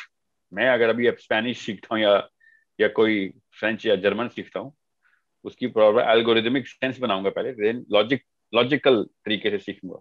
बच्चा वो लॉजिकल तरीके से नहीं सीखता। बच्चा मिमिक्री करता है और ग्रामर जो है ना उसकी आ, इसी को तो मुआवजा कहते हैं। साइंस अभी तक समझा नहीं सकी किसी इंसान को कि बच्चे के अंदर हर इंसानी बच्चे के अंदर ये ग्रामर की सेंस क्रिएट कैसे हो जाती है? आप सीखें अभी स्पेनिश आपको पता चलेगा कि सीखे ही नहीं तो हो सकते हमारे। सो so, मैं पश्तो सीखने की कोशिश कर रहा था पिछले साल और लॉजिकल तरीका था ही नहीं कोई। Zaman is beyond this this science so आपको फिर प्रैक्टिस करनी पड़ती है। बच्चे नेचुरली मिमिक्री करते हैं मिमिक्री प्रैक्टिस प्रैक्टिस करते करते उनको सेंस क्रिएट हो जाती है। बस, वही, बस एक, वही एक तरीका है इसका। तो आप बच्चों को, आप पहले एक माहौल का मतलब होता है, अभी तो खैर कोरोना चल रहा है, मैं क्या माहौल की किसी को दावत दूँगा? मगर ऑनलाइन जूम सेशंस के अंदर आपको वक्त लैंग्वेज कोई भी सीखनी हो, उसका तरीका एक ही है कि लैंग्वेज बोलने वाले हर वक्त आपको कानों में और आपकी ज़ुबान की प्रैक्टिस करवा रहे हैं। बोलने की और सुनने की प्रैक्टिस हो। That's all you have to do इसके लिए अच्छा बुरा टीचर की क्या ज़रूरत है आपको? इसका ये तो माहौल है जो माहौल सही तरीके से कंस्ट्रक्ट कर सकता है वो अच्छा टीचर है लैंग्वेज का। Language has nothing to do with morality और और और एथिकल मेकअप और और you know the technical science of it बच्चे को लैंग्वेज सिखानी है प्रैक्टिस प्रैक्टिस कैसे? सुनने की प्रैक्टिस और बोलने की प्रैक्टिस वो जो भी करवा रहा है और जिस जितनी कॉन्शियस uh, कॉन्शियसली करवा रहा है। वो आपको आ, आ, बच्चे की परफॉर्मेंस ही समझ आ जाएगा। लैंग्वेज तो ऐसी चीज़ है जो समझ आ रही है कि बच्चे को आती है या किसी भी इंसान को आती है। कैसे वो अपने अपने थॉट्स को ट्रांसलेट कर सकता है अल्फाज में? अगर वो सही तरीके से आर्टिकुलेट कर लेता है अपनी थॉट्स को तो बस वो फिर मास्टर है। कुछ और चीज़ें हैं जैसे अंग्रेज़ी हो या उर्दू हो। आप ये हम मादरी जबान है उर्दू हम सब की। मगर उर्दू की टेक्निकल जो ट्रेनिंग है वो हमारी नहीं हुई। तो क्या मसला उसके लिए? जी हाँ मसला है। अगर हमें ऐसे किसी इल्म की तरफ़ तरतीब बनाने की कोशिश कर रहा हूँ जिसमें टेक्निकल स्ट्रेंथ की रिक्वायरमेंट है तो बस फिर तो मसला है। सो so, मेरी चूँकि ट्रेनिंग शायरी पे हुई हुई है तो मुझे तभी इस बात का अंदाज़ा हो गया था जब ट्रेनिंग हो रही थी शायरी के ऊपर कि इतना आसान नहीं है उर्दू को किस तरीके से बैलेंस करते होते हैं। अल्फाज को अल्फाज का चुनाव एक अलग चीज़ है और एक्सप्रेशन एक अलग चीज़ है। और उसका बैलेंस और उसका मीटर अलग चीज़ है। अरबी तो है ही बैलेंस सीखे अरबी ने तो बैलेंस ही सीखे पे रखा हुआ अपने ऊपर। तभी तो उर्दू की सारी शायरी अरबी के बेस के ऊपर है। तमाम तर अवजान जो है ना अरबी के। सो so, आपको टेक्निकल स्ट्रेंथ चाहिए तो फिर तो एक अलग बात है वो तो फिर वो बच्चा को तो नहीं आएगी। वो तो आपको आपको फिर एक ब्रेन वो आपको बारहवें साल के बाद ही समझ आएगी। मसला ये है कि बारहवें साल के बाद आपको बेसिक जो है ना ग्रामर पिक करने में टाइम लगेगा।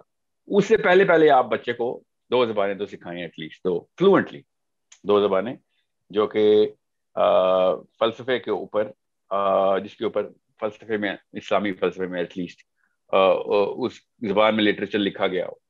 तो जिसको अरबी नहीं आती, देखें उर्दू और अरबी। उर्दू ऐसी जबान है जो अरबी के बाद सबसे ज़्यादा इस्लामिक लिटरेचर जिसमें लिखा गया उर्दू है। इतनी बड़ी बात है।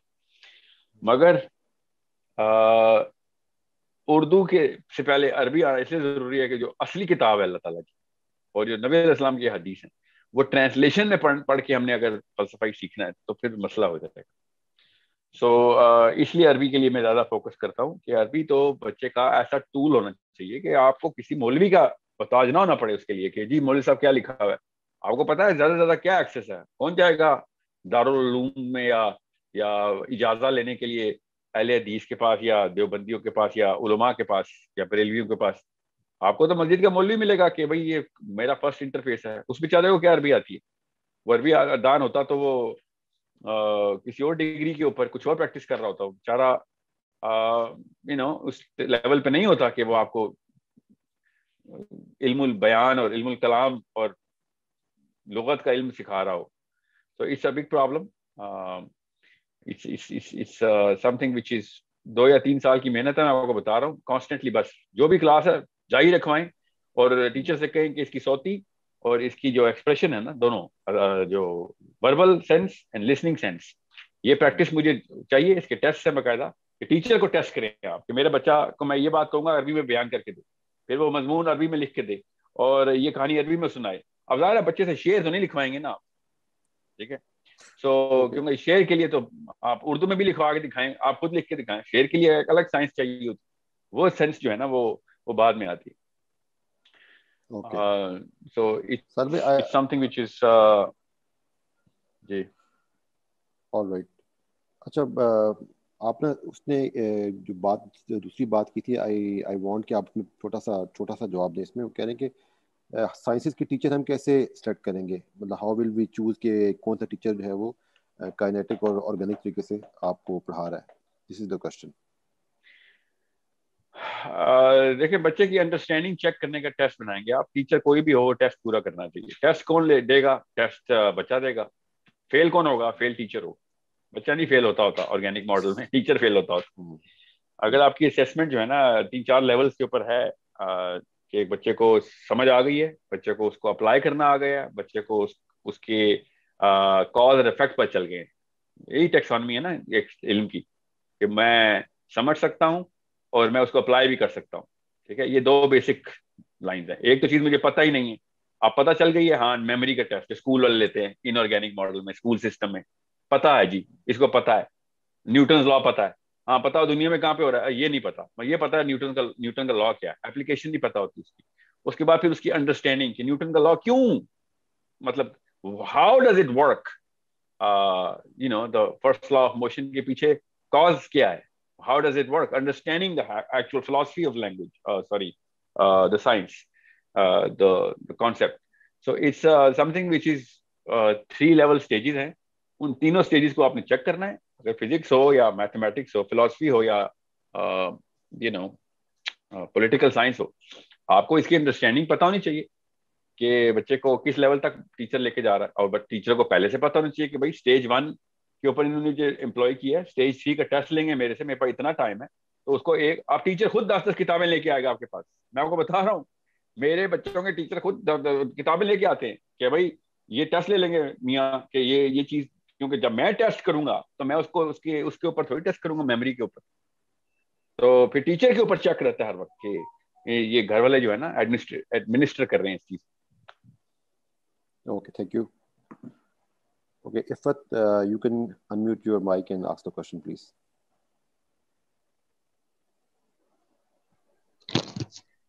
Assalamu alaikum. सबसे पहले तो आपके लिए बहुत सारी दुआएँ हैं अल्लाह ताला आप पे अपना खास रहम फरमाए। uh, मेरा क्वेश्चन एक ऐसी मदर से रिलेटेड है। uh, यानी जो अपने बच्चे की तरबियत करना चाहती है और किसी हद तक तरबियत का शौर भी रखती है अपनी तरबियत पे भी वर्क कर रही है। लेकिन मसला ये है कि एक जॉइंट फैमिली सिस्टम में रहते हुए बेशक वो इतना ख़राब माहौल नहीं है लेकिन एक्चुअल मसला ये है कि बहुत ज़्यादा पैम्परिंग की वजह से उसको ये फील हो रहा है कि उसके बच्चे की जो डेवलपमेंट हो रही है पर्सनैलिटी डेवलपमेंट उसमें यानी जैसे उसके अंदर जिद क्रिएट हो रही है या वो ओवर सेंसिटिव बच्चा बन रहा है तो ऐसे में वो माँ क्या कर सकती है? उसका कंसर्न ठीक है या वो बहुत ज़्यादा सोच रही है? यानी बेवकूफ़ है कि वो इतना सोच रही है, अभी उसका बच्चा डेढ़ साल का है और अगर वो ठीक है तो उसके ऐसे माहौल में रहते हुए वो किस तरह से अपने बच्चे को, जिस तरह कहीं उसने सुना किसी स्कॉलर से ही कि 18 मंथ्स तक बच्चे की जो पर्सनालिटी है, वो डेवलप हो चुकी होती है, जो बेसिक उसकी पर्सनालिटी होती है। तो क्या ये बातें ठीक हैं? फिर जिस तरह पैम्परिंग इतनी ज़्यादा है कि उसी स्कॉलर ने उसको ये समझाया कि अच्छा मूसा भी तो पले थे फिर के दरबार में तो उन वो एक अकेले थे तो उनको कितनी ज़्यादा पैम्परिंग उनकी कर, की, जाती होगी। तो बेशक वो दुआएँ भी करती है कोशिश भी करती है लेकिन एक माहौल के इम्पैक्ट के लिए वो उसको खत्म करने के लिए वो क्या कर सकती है? तो काइंडली इसके बारे में बताइए क्या वो ठीक सोच रही है? या फजूल में डिप्रेस हो रही है सोच सोच के या ये है कि इसका कोई सोल्यूशन हो सकता है? जजाकल्ला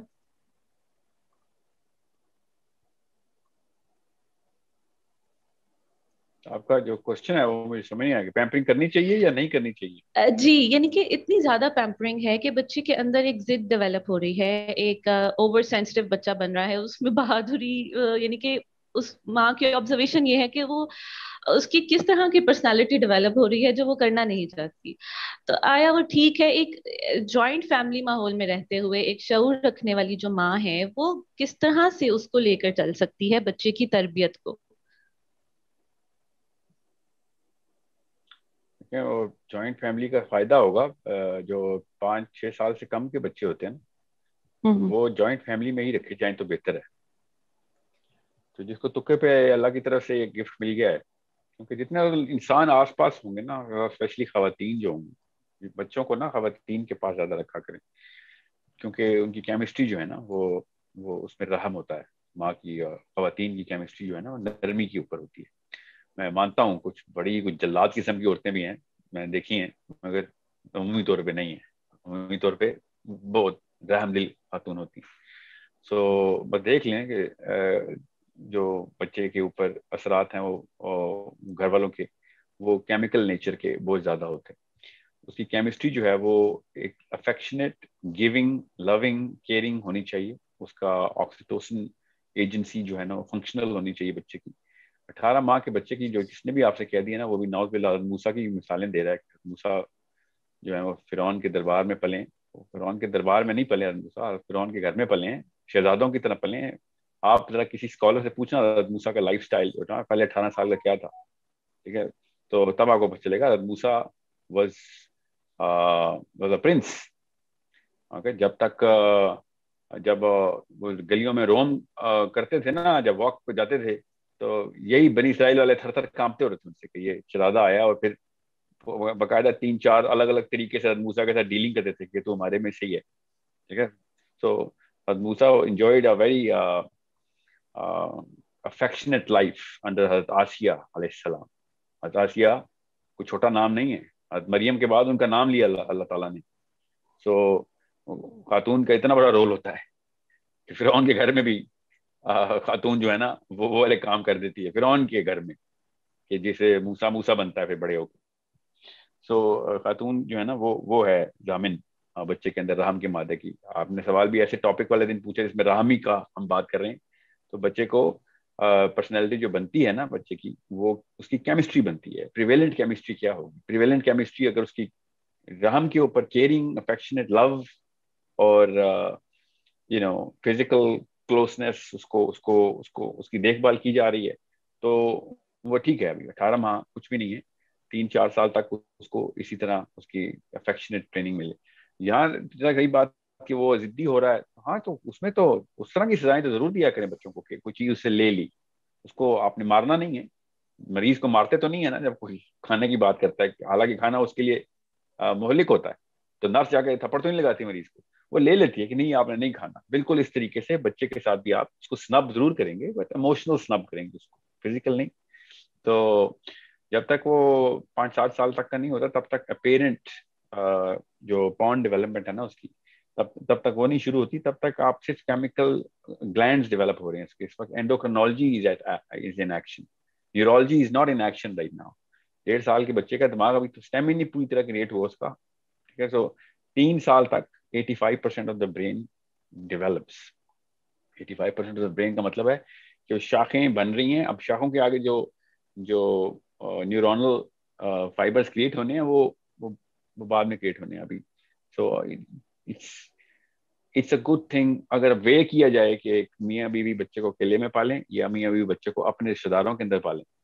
साइंस पूरी तरीके से यही बताएगी कि रिश्तेदारों में पालो स्पेशली अगर खातन ज़्यादा है उसमें। ओके थैंक यू साहिल भाई फ़ायदा you can ask your question अस्सलाम वालेकुम वालेकुम सलाम जैसे कुरान में हमें अल्लाह ताला ने जन्नत के बारे में मतलब बार बार वो चीज़ें बताई हैं जो हमें दुनिया में जिनके लिए हमें रोका गया है और वो चीज़ें हमें वहाँ अट्रैक्शन के लिए बताई गई हैं कि मतलब हम जिन चीज़ों से यहाँ रुकेंगे हमें वो चीज़ें वहाँ मिलेंगी। और हर चीज़ के पीछे कोई ना कोई वजह है। तो जैसे ये हमें बोला गया है कि जैसे नहरें बह रही हैं, जैसे अनार का ज़िक्र है और इस तरह की चीज़ों का ज़िक्र है तो इन चीज़ों को एक्सप्लेन, बताने के पीछे क्या वो वजूहत है, क्या साइकोलॉजी है?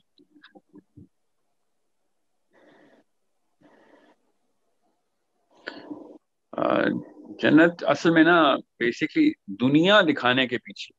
तस्वीर जरा सीधी करते हैं, तस्वीर आपने जो है ना उल्टी पकड़ी हुई। दुनिया के अंदर ये मामला करने के पीछे क्या साइकोलॉजी है? बेसिकली तो हम सब जन्नत के अंदर, जन्नत के लिए बनाई हुई मखलूक है।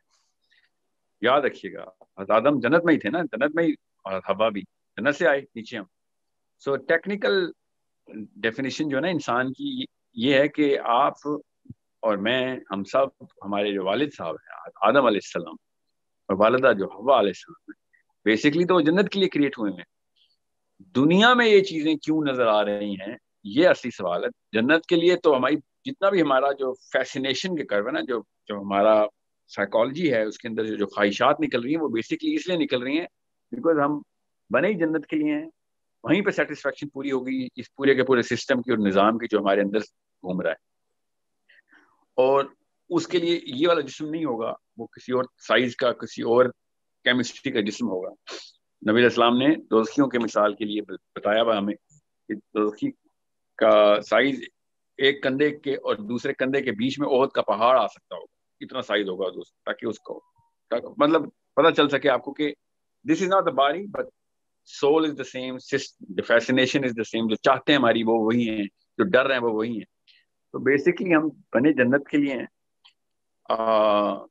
और अल्लाह बचाए अल्लाह बचाए या फिर दोजख के लिए। हैं तो basically the real house of the human being, the real natural satisfaction of the human being is in Jannah. जिधर के मतलब शहजादा शहजादा ही होता है चाहे वो झोपड़ी में रह रहा हो चाहे महल में रह रहा हो। बिल्कुल यही वाली मिसाल हमारे ऊपर होती है। बेसिकली जन्नती लोग हैं और दुनिया में फंसे हुए हैं। समझ रहे हैं? बस ये बात ध्यान रखिएगा।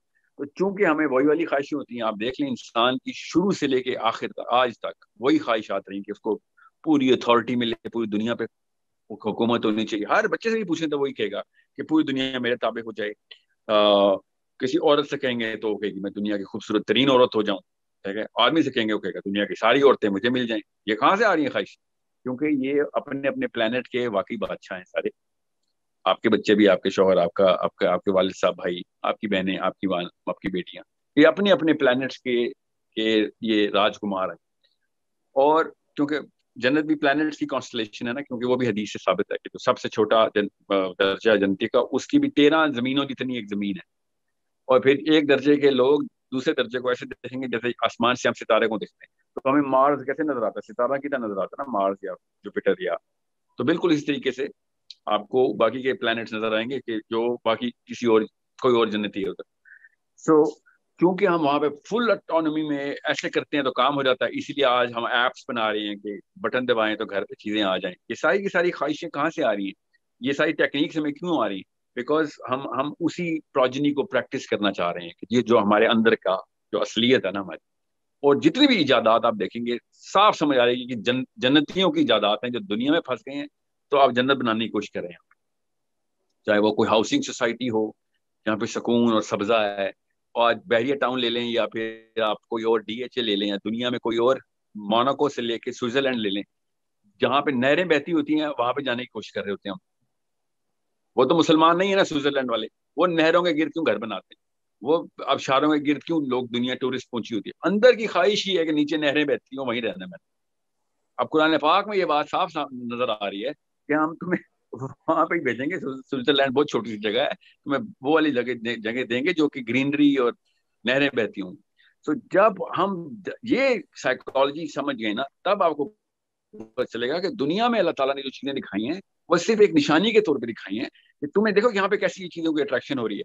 और फिर साथ ही अल्लाह ताला ने जन्नत की आयतें बताई ताकि आपको पता चल सके तुम असल में वहाँ की मखलूक हो, अपने घर वापस आओ। तुमने कहा था कि मैं टेस्ट पूरा कर लूँगा, मुझे ऊपर के दर्जात दे देना। तो अब ये टेस्ट है तुम्हारा। So it's it's such a simple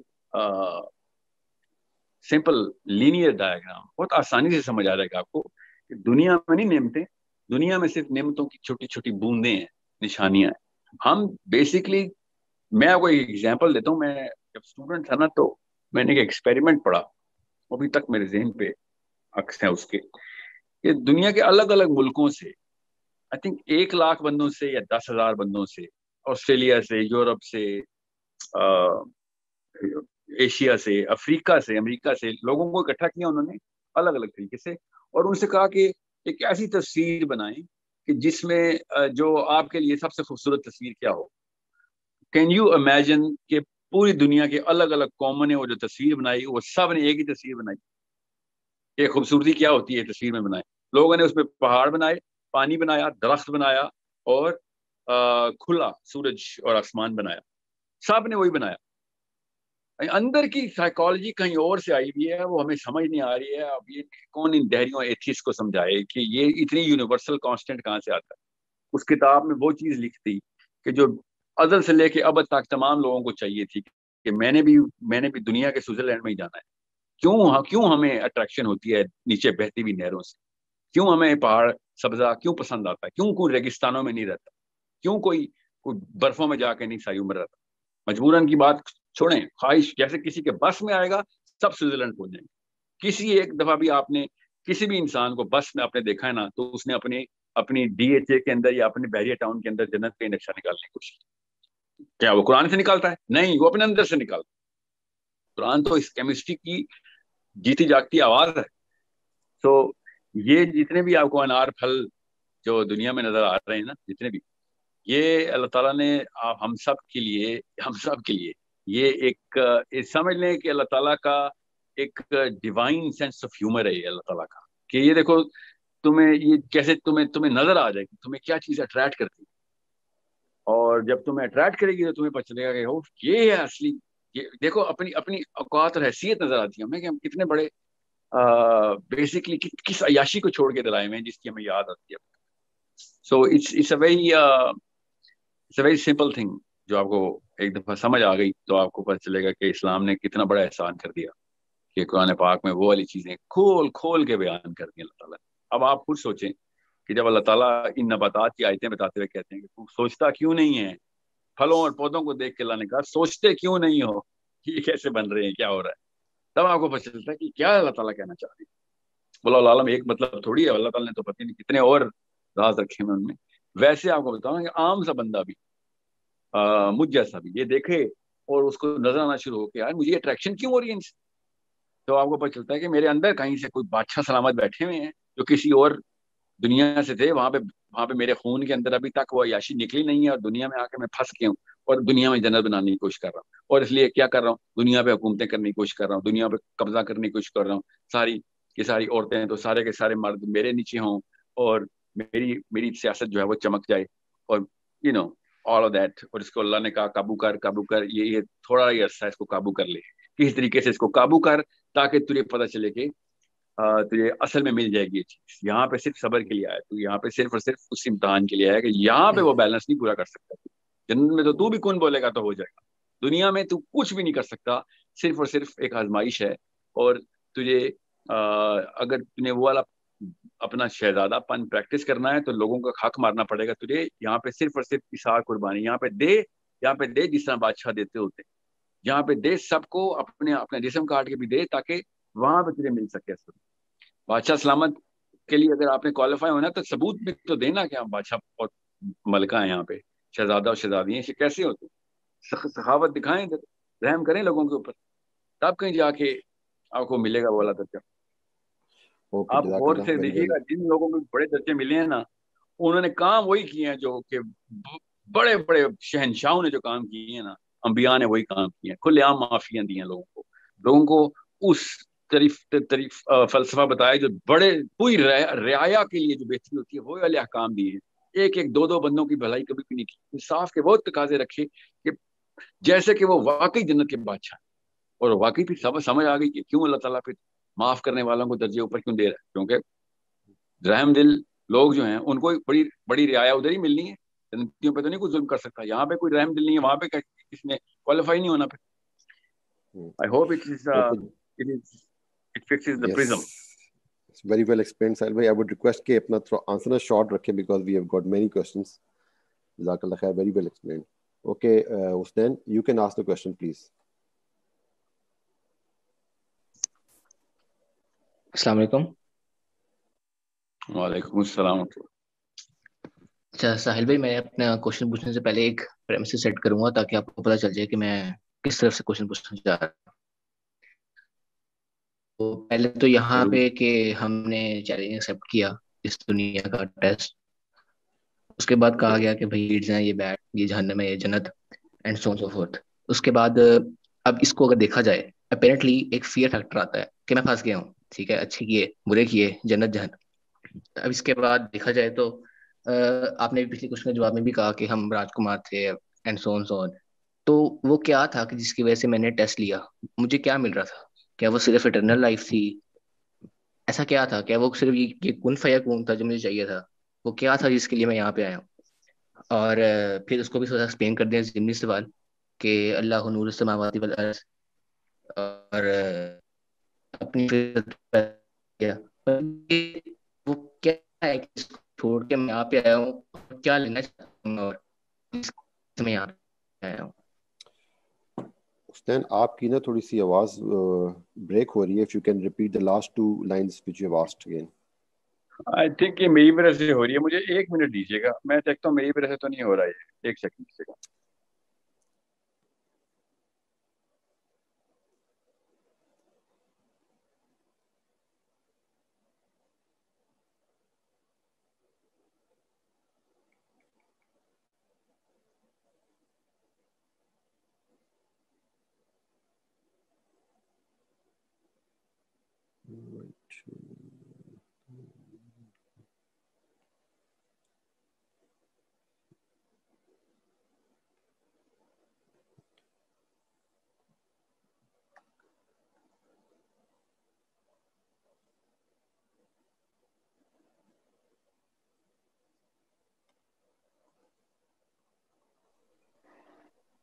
तो आवाज़ आ रही है? जी जी आ रही है। जी हुसैन का मुझे भाई तो उनका मेरा ख्याल क्वेश्चन समझ आ गया है मगर हाँ ठीक है लेट अस ओके मैं लास्ट लास्ट में आपने क्या कहा Hussain can you repeat please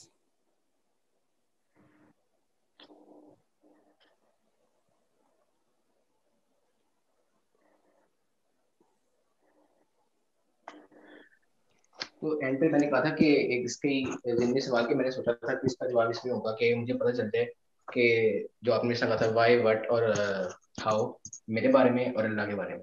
तो उसके अंदर सवाल कि, अल्लाह अगर मुझे ये पता चल जाए या मुझे ये पता चल जाए कि मैं कौन हूँ, किधर हूँ, कहाँ हूँ, क्यों इस सबसे मुझे ये कॉन्सेप्ट क्लियर हो जाएगा कि मैं क्यों आया।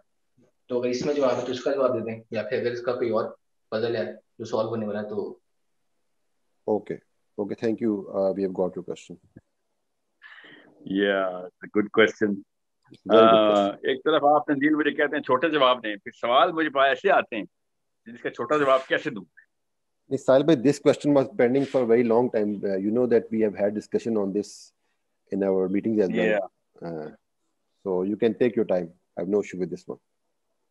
नहीं नहीं, मैं इसका लंबा जवाब इस तरह जूम सेशन पे तो मेरे जो आवाज़ कट रही है बार बार उस तरह तो नहीं मैं दे सकता, मगर जवाब इंशाल्लाह मैं समराइज ज़रूर कर देता हूँ कि एक तो अल्लाह नूर समावात वल अर्द। इसका आपके उस सवाल से ताल्लुक नहीं है। पर इतना सा फलसफा याद रखिएगा कि जब, जैसे ही आप अल्लाह ताला के कॉन्सेप्ट को समझ गए कॉन्सेप्ट को, अल्लाह को तो नहीं समझ सकते हम। अल्लाह ताला की उस अपने अपने अपने मालिक के, हमारे मेकर की कॉन्सेप्ट को कि मेरा एक मेकर है हमारा एक मेकर हमारे अंदर एक निशानी अल्लाह ने छोड़ी कि अगर एक मेकर इस मशीन के अंदर से एक निशानी और आवाज़ समझ आती है कि अगर मेरा मेकर और कुरान पाक ने पूरी तरीके से सही तौर पर एक्सप्लेनेशन भी दी इस बात की कि ये हो ही नहीं सकता कि मैं किसी, अगर मैं इसी तरीके से ही बनाया गया हूँ, जिस तरीके से हूँ ये पूरी कायनात तो उस मेकर को का, की शख्सियत का, उस हैत का अहाता करना मेरे मेरे बस में है ही नहीं। जन्नती भी, मेरे पिछले सेशन में भी ये बात थी, जो उसमें क्वेश्चन भी आए हैं कि, सर, आपने कह दिया था कि इमाम जाफ़र सादिक कह रहे हैं तो आपने भी मान लिया कि जन्नती देख नहीं सकेंगे।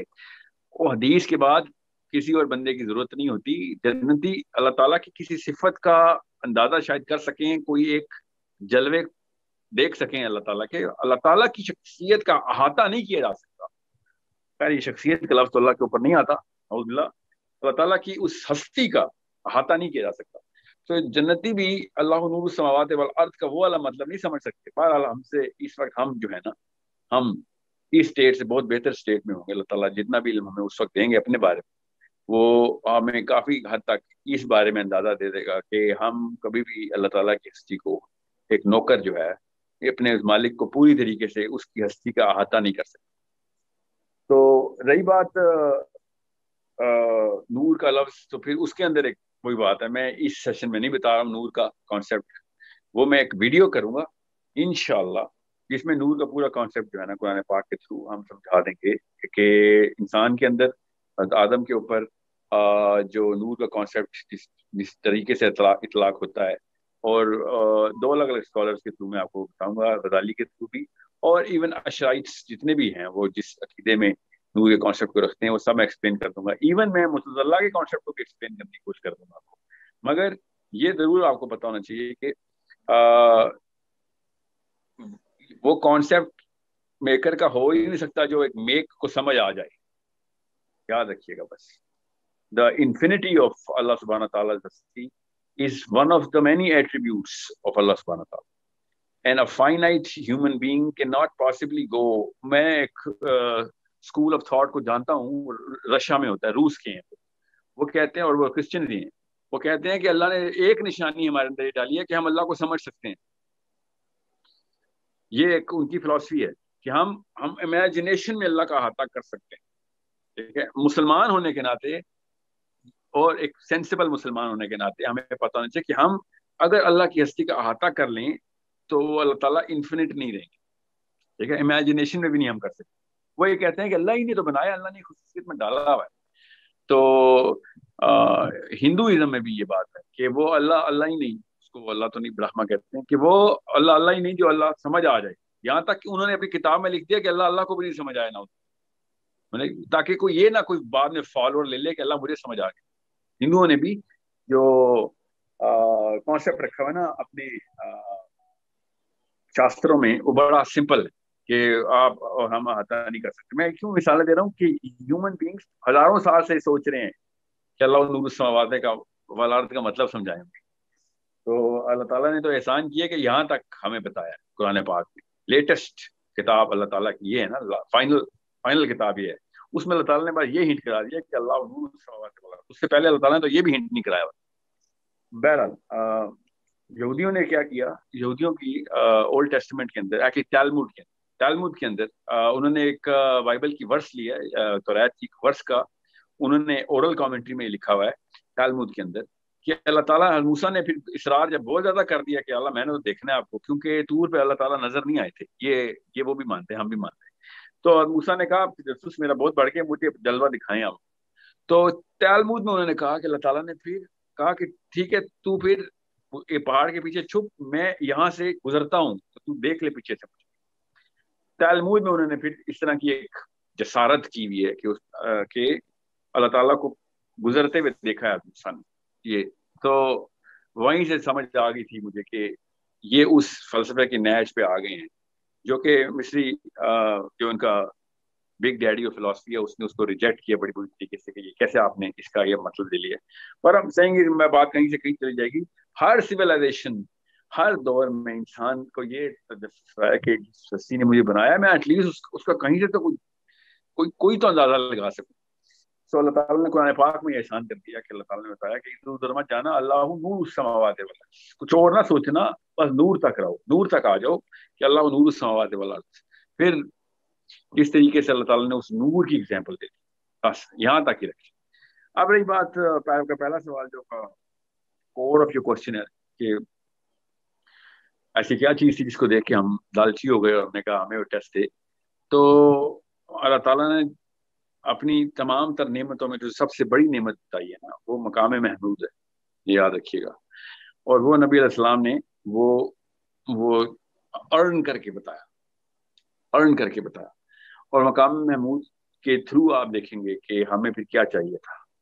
क्योंकि मकाम Mahmood is like the peak of the peak right तो मकाम महमूद क्या है? तो वो साफ़ अपने नाम से ही समझ आ रही है कि वो अल्लाह ताला की सबसे पसंदीदा तरीन जगह है, जो अल्लाह ताला ने इसकी तारीफ़ कर दी है, मकाम महमूद, जगह जिसको अल्लाह ने तारीफ़ कर दी और वो फलसफे में बताया कि वो वो जगह है जहाँ से अल्लाह ताला की ज़्यादातर सिफात, सबसे ज़्यादा करीब से अल्लाह ताला को देख सकता है, वो वो जगह है। तो नबी जो है, ज़ाहिर है, वो उनसे ज़्यादा कौन हकदार था उस मकाम महमूद का? बाकी के तमाम तर इंसान जो है, वो किसी न किसी जगह के ऊपर होंगे। वो आराफ में ही होंगे। आराफ का मतलब वो नहीं है जो पाकिस्तानी मौलवी बताते हैं आपको। आराफ का मतलब है ऊँची जगहों पे होंगे वो भी। आराफ और मकाम है मतलब वो वाला मैदान नहीं है ना जो कि पता नहीं क्यों यहाँ पे आ गया है। अरेबियन फिलासफी में आराफ उसको नहीं कहते कि जो पाकिस्तानी फिलोसफी में आ गए सो, मगर मकाम महमूद वो है कि जो अल्लाह ताला का सबसे करीब तरीन अल्लाह ताला के अर्श के सबसे करीब तरीन जगह है। सो so, उससे उससे आप रिवर्स इंजीनियर कर सकते हैं कि हमें भी ऐसी कुछ चीज़ चाहिए थी जो कि अल्लाह ताला के की मार्फत की सबसे आला मन, मनाजिल चाहते थे। हम वहाँ पे हूरें जन्नत फल मेवे नहरें नहीं नहरों की ये बात नहीं हो रही थी। जब अल्लाह ताला ने कहा मेरी अमानत हो तो ये बात नहीं हो रही थी कि हाँ जी नहरों में और अपने अपने प्लैनेट्स में कौन जाना चाहता है तो उसके लिए इधर आ जाओ। साफ़ समझ आ रही है इस बात को कि अल्लाह ताला के करीब होना असल में मुसलमान का मकसद है।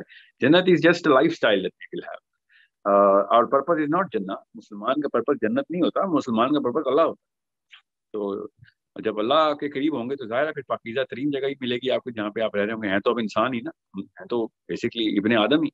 तो इबन आदम को जो लाइफ स्टाइल मिलेगा तो जब इसलिए आप मस्जिद के कॉन्सेप्ट समझ लें। मस्जिद को क्यों पाक रखते हैं? क्योंकि हम अल्लाह ताला की बार बारगाह में हाजिर देने की कोशिश करते हैं। वरना हम आ, जो है वो आ, जन्नत में किसी और तरीके से रह रहे होते तो अल्लाह के करीब तरीन मकाम की तो वो मतलब अल्लाह की हया का इतकाजा ये था कि जन्नत पाक हो उसमें नेमते हों।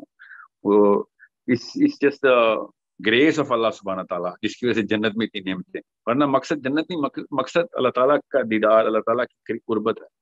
सो टेक्निकल आंसर आपका यही है कि हम उस वक्त अल्लाह ताला जब हमें महसूस हो गया था कि हम क्रिएशन है हमें महसूस हो गया था हमारा क्रिएटर कौन है या कोई क्रिएटर है तो अल्लाह ताला ने कह दिया देख लो कि मैं ही तुम्हारा क्रिएटर हूँ। ये अलस्त की बात हो रही तो अलस्त के अंदर जब अल्लाह ने वादा लिया तो सब, सबसे पहला यही वाक्य ना फिर डेट करें तो सबसे पहले ये वाला वाक्य निकलता है। तो फिर हमें पता चल गया कि हमें जो हमारी ज़रूरत है ना वो ये कि हम अल्लाह ताला के करीब तरीन आ तो आपको अभी भी दुनिया में किसी भी मौके के ऊपर जब ये रियलाइजेशन होती है कि मैं अल्लाह का बंदा हूँ तो आपको दुनिया की ज़रूरत ही नहीं रहती फिर। ये कितनी बड़ी निशानी कि किसी भी चीज़ यहाँ तक कि जन्नत की भी ज़रूरत नहीं रहती। जब आपको अल्लाह ताला की क्लोजनेस फील होती है दुनिया के अंदर भी आपको जन्नत की ख्वाहिश खत्म हो जाती है। अल्लाह छोड़ जन्नत भी मुझे बस अपने पास रखा। अब मुझे अपना कनेक्शन दे कि तू और मैं एक दूसरे को देख रहे हूँ बस। और हदीस भी है ना हदीस भी यही है कि जब बंदा नमाज़ पढ़ता है ना तो जैसे नाक से नाक टकरा रही होती है ना इस अल्लाह हमारे सामने खड़े होते तो जन्नत की क्या ज़रूरत है जब अल्लाह ऐसे खड़े ओके जजाकल्लाह साहिब भाई। Okay. Uzma you can kindly unmute your mic, mic and ask the question. अस्सलाम वालेकुम रहमतुल्लाह वालेकुम अस्सलाम कैन यू हियर मी आवाज़ आ रही है Yes. या अच्छा हाँ मेरा पहला क्वेश्चन तो ये है कि कुरान जो है ना वो it is a book of science I G S science तो अब मुझे ये बात बताइए कि जब मैं आयत अनफुसी को देखूँ और जब मैं आयत आफाकी को देखूँ तो मेरी नज़र तो एस सी आई साइंस पे चली है। ठीक है मतलब मैं उसको इस नज़र से देखने लग जाती हूँ ना कि सेल के अंदर घुस एक्चुअली फिजियोलॉजी या मैंने देखी है। समझेगा या दूसरी एक चीज़ इंसान इस चीज़ को आया है। दूसरा ये कि मुझे प्लीज़ वन वर्ड या वन स्टेटमेंट फिजा सॉरी आपका क्वेश्चन जो है ना सॉरी उजमा आपका क्वेश्चन जो है वो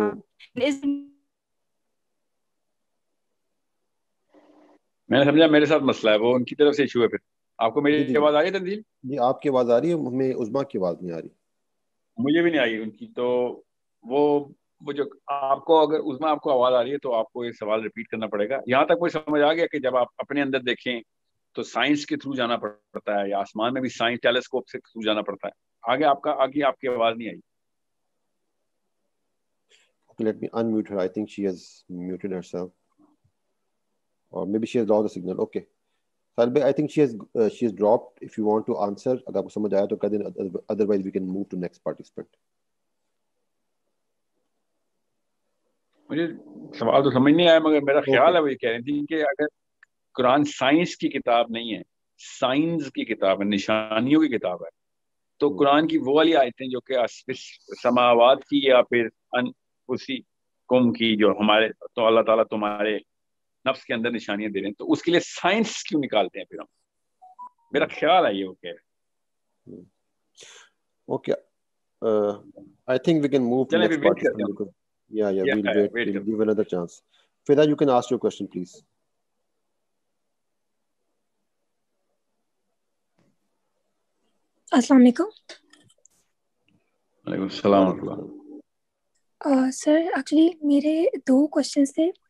uh, एक तो मैंने ये देखा था कि मोस्टली आप फोकस कर रहे होते हैं यंगस्टर्स पे तो मैंने पूछना था अगर आप जो मिडिल एज लोग हैं अब हम कॉरपोरेट जॉब्स में हैं हम हमने सिर्फ़ दुनियावी एजुकेशन ली है what can be the possible ways out for us हम क्योंकि अभी भी देखा जाए तो ठीक है अभी लाइफ में तीस साल तो इनशाला एवरेज पड़े ही हैं तो how can we utilise it to the maximum क्या करें? क्या आप अपनी मतलब मैं honestly I am thinking on these parts कि मैं अपनी कॉर्पोरेट जॉब को छोड़ दूँ and I shift to another clerical job जिसमें टाइमिंग्स कम हो so that I can learn more Islamic knowledge and implement it and I was really praying कि मुझे सही रास्ता पता चल जाए। मैंने दो ख्वाब भी देखे but I don't know how to see what is the meaning of that तो मुझे कोई प्रॉपर अगर आप गाइडेंस दे दें कोई स्टेप्स दे दें कौन किस किस्म की नॉलेज देनी चाहिए? क्योंकि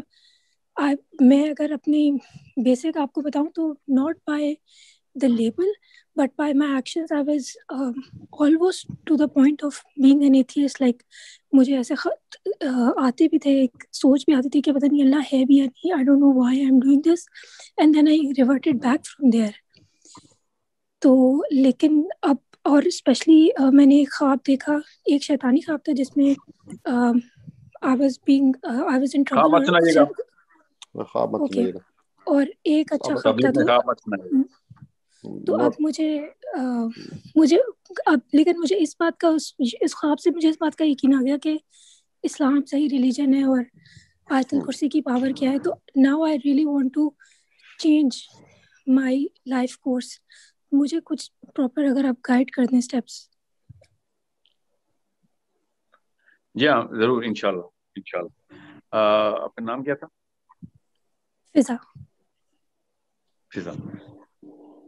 फिजा आपको ना कॉन्सेप्ट पता होगा आप ओलंपिक्स में देखते हैं इसको कहते हैं द रिले रेस जिसमें वो एक बटॉन होता है वो एक रनर भागता है और दूसरे को पकड़ाता है दूसरा भी भागता है फिर तीसरे को पकड़ाता है। इस तरह वो चक्कर लगा रहे होते हैं उन्होंने एक दूसरे को वो एक बटॉन पकड़ाना होता है have you seen that race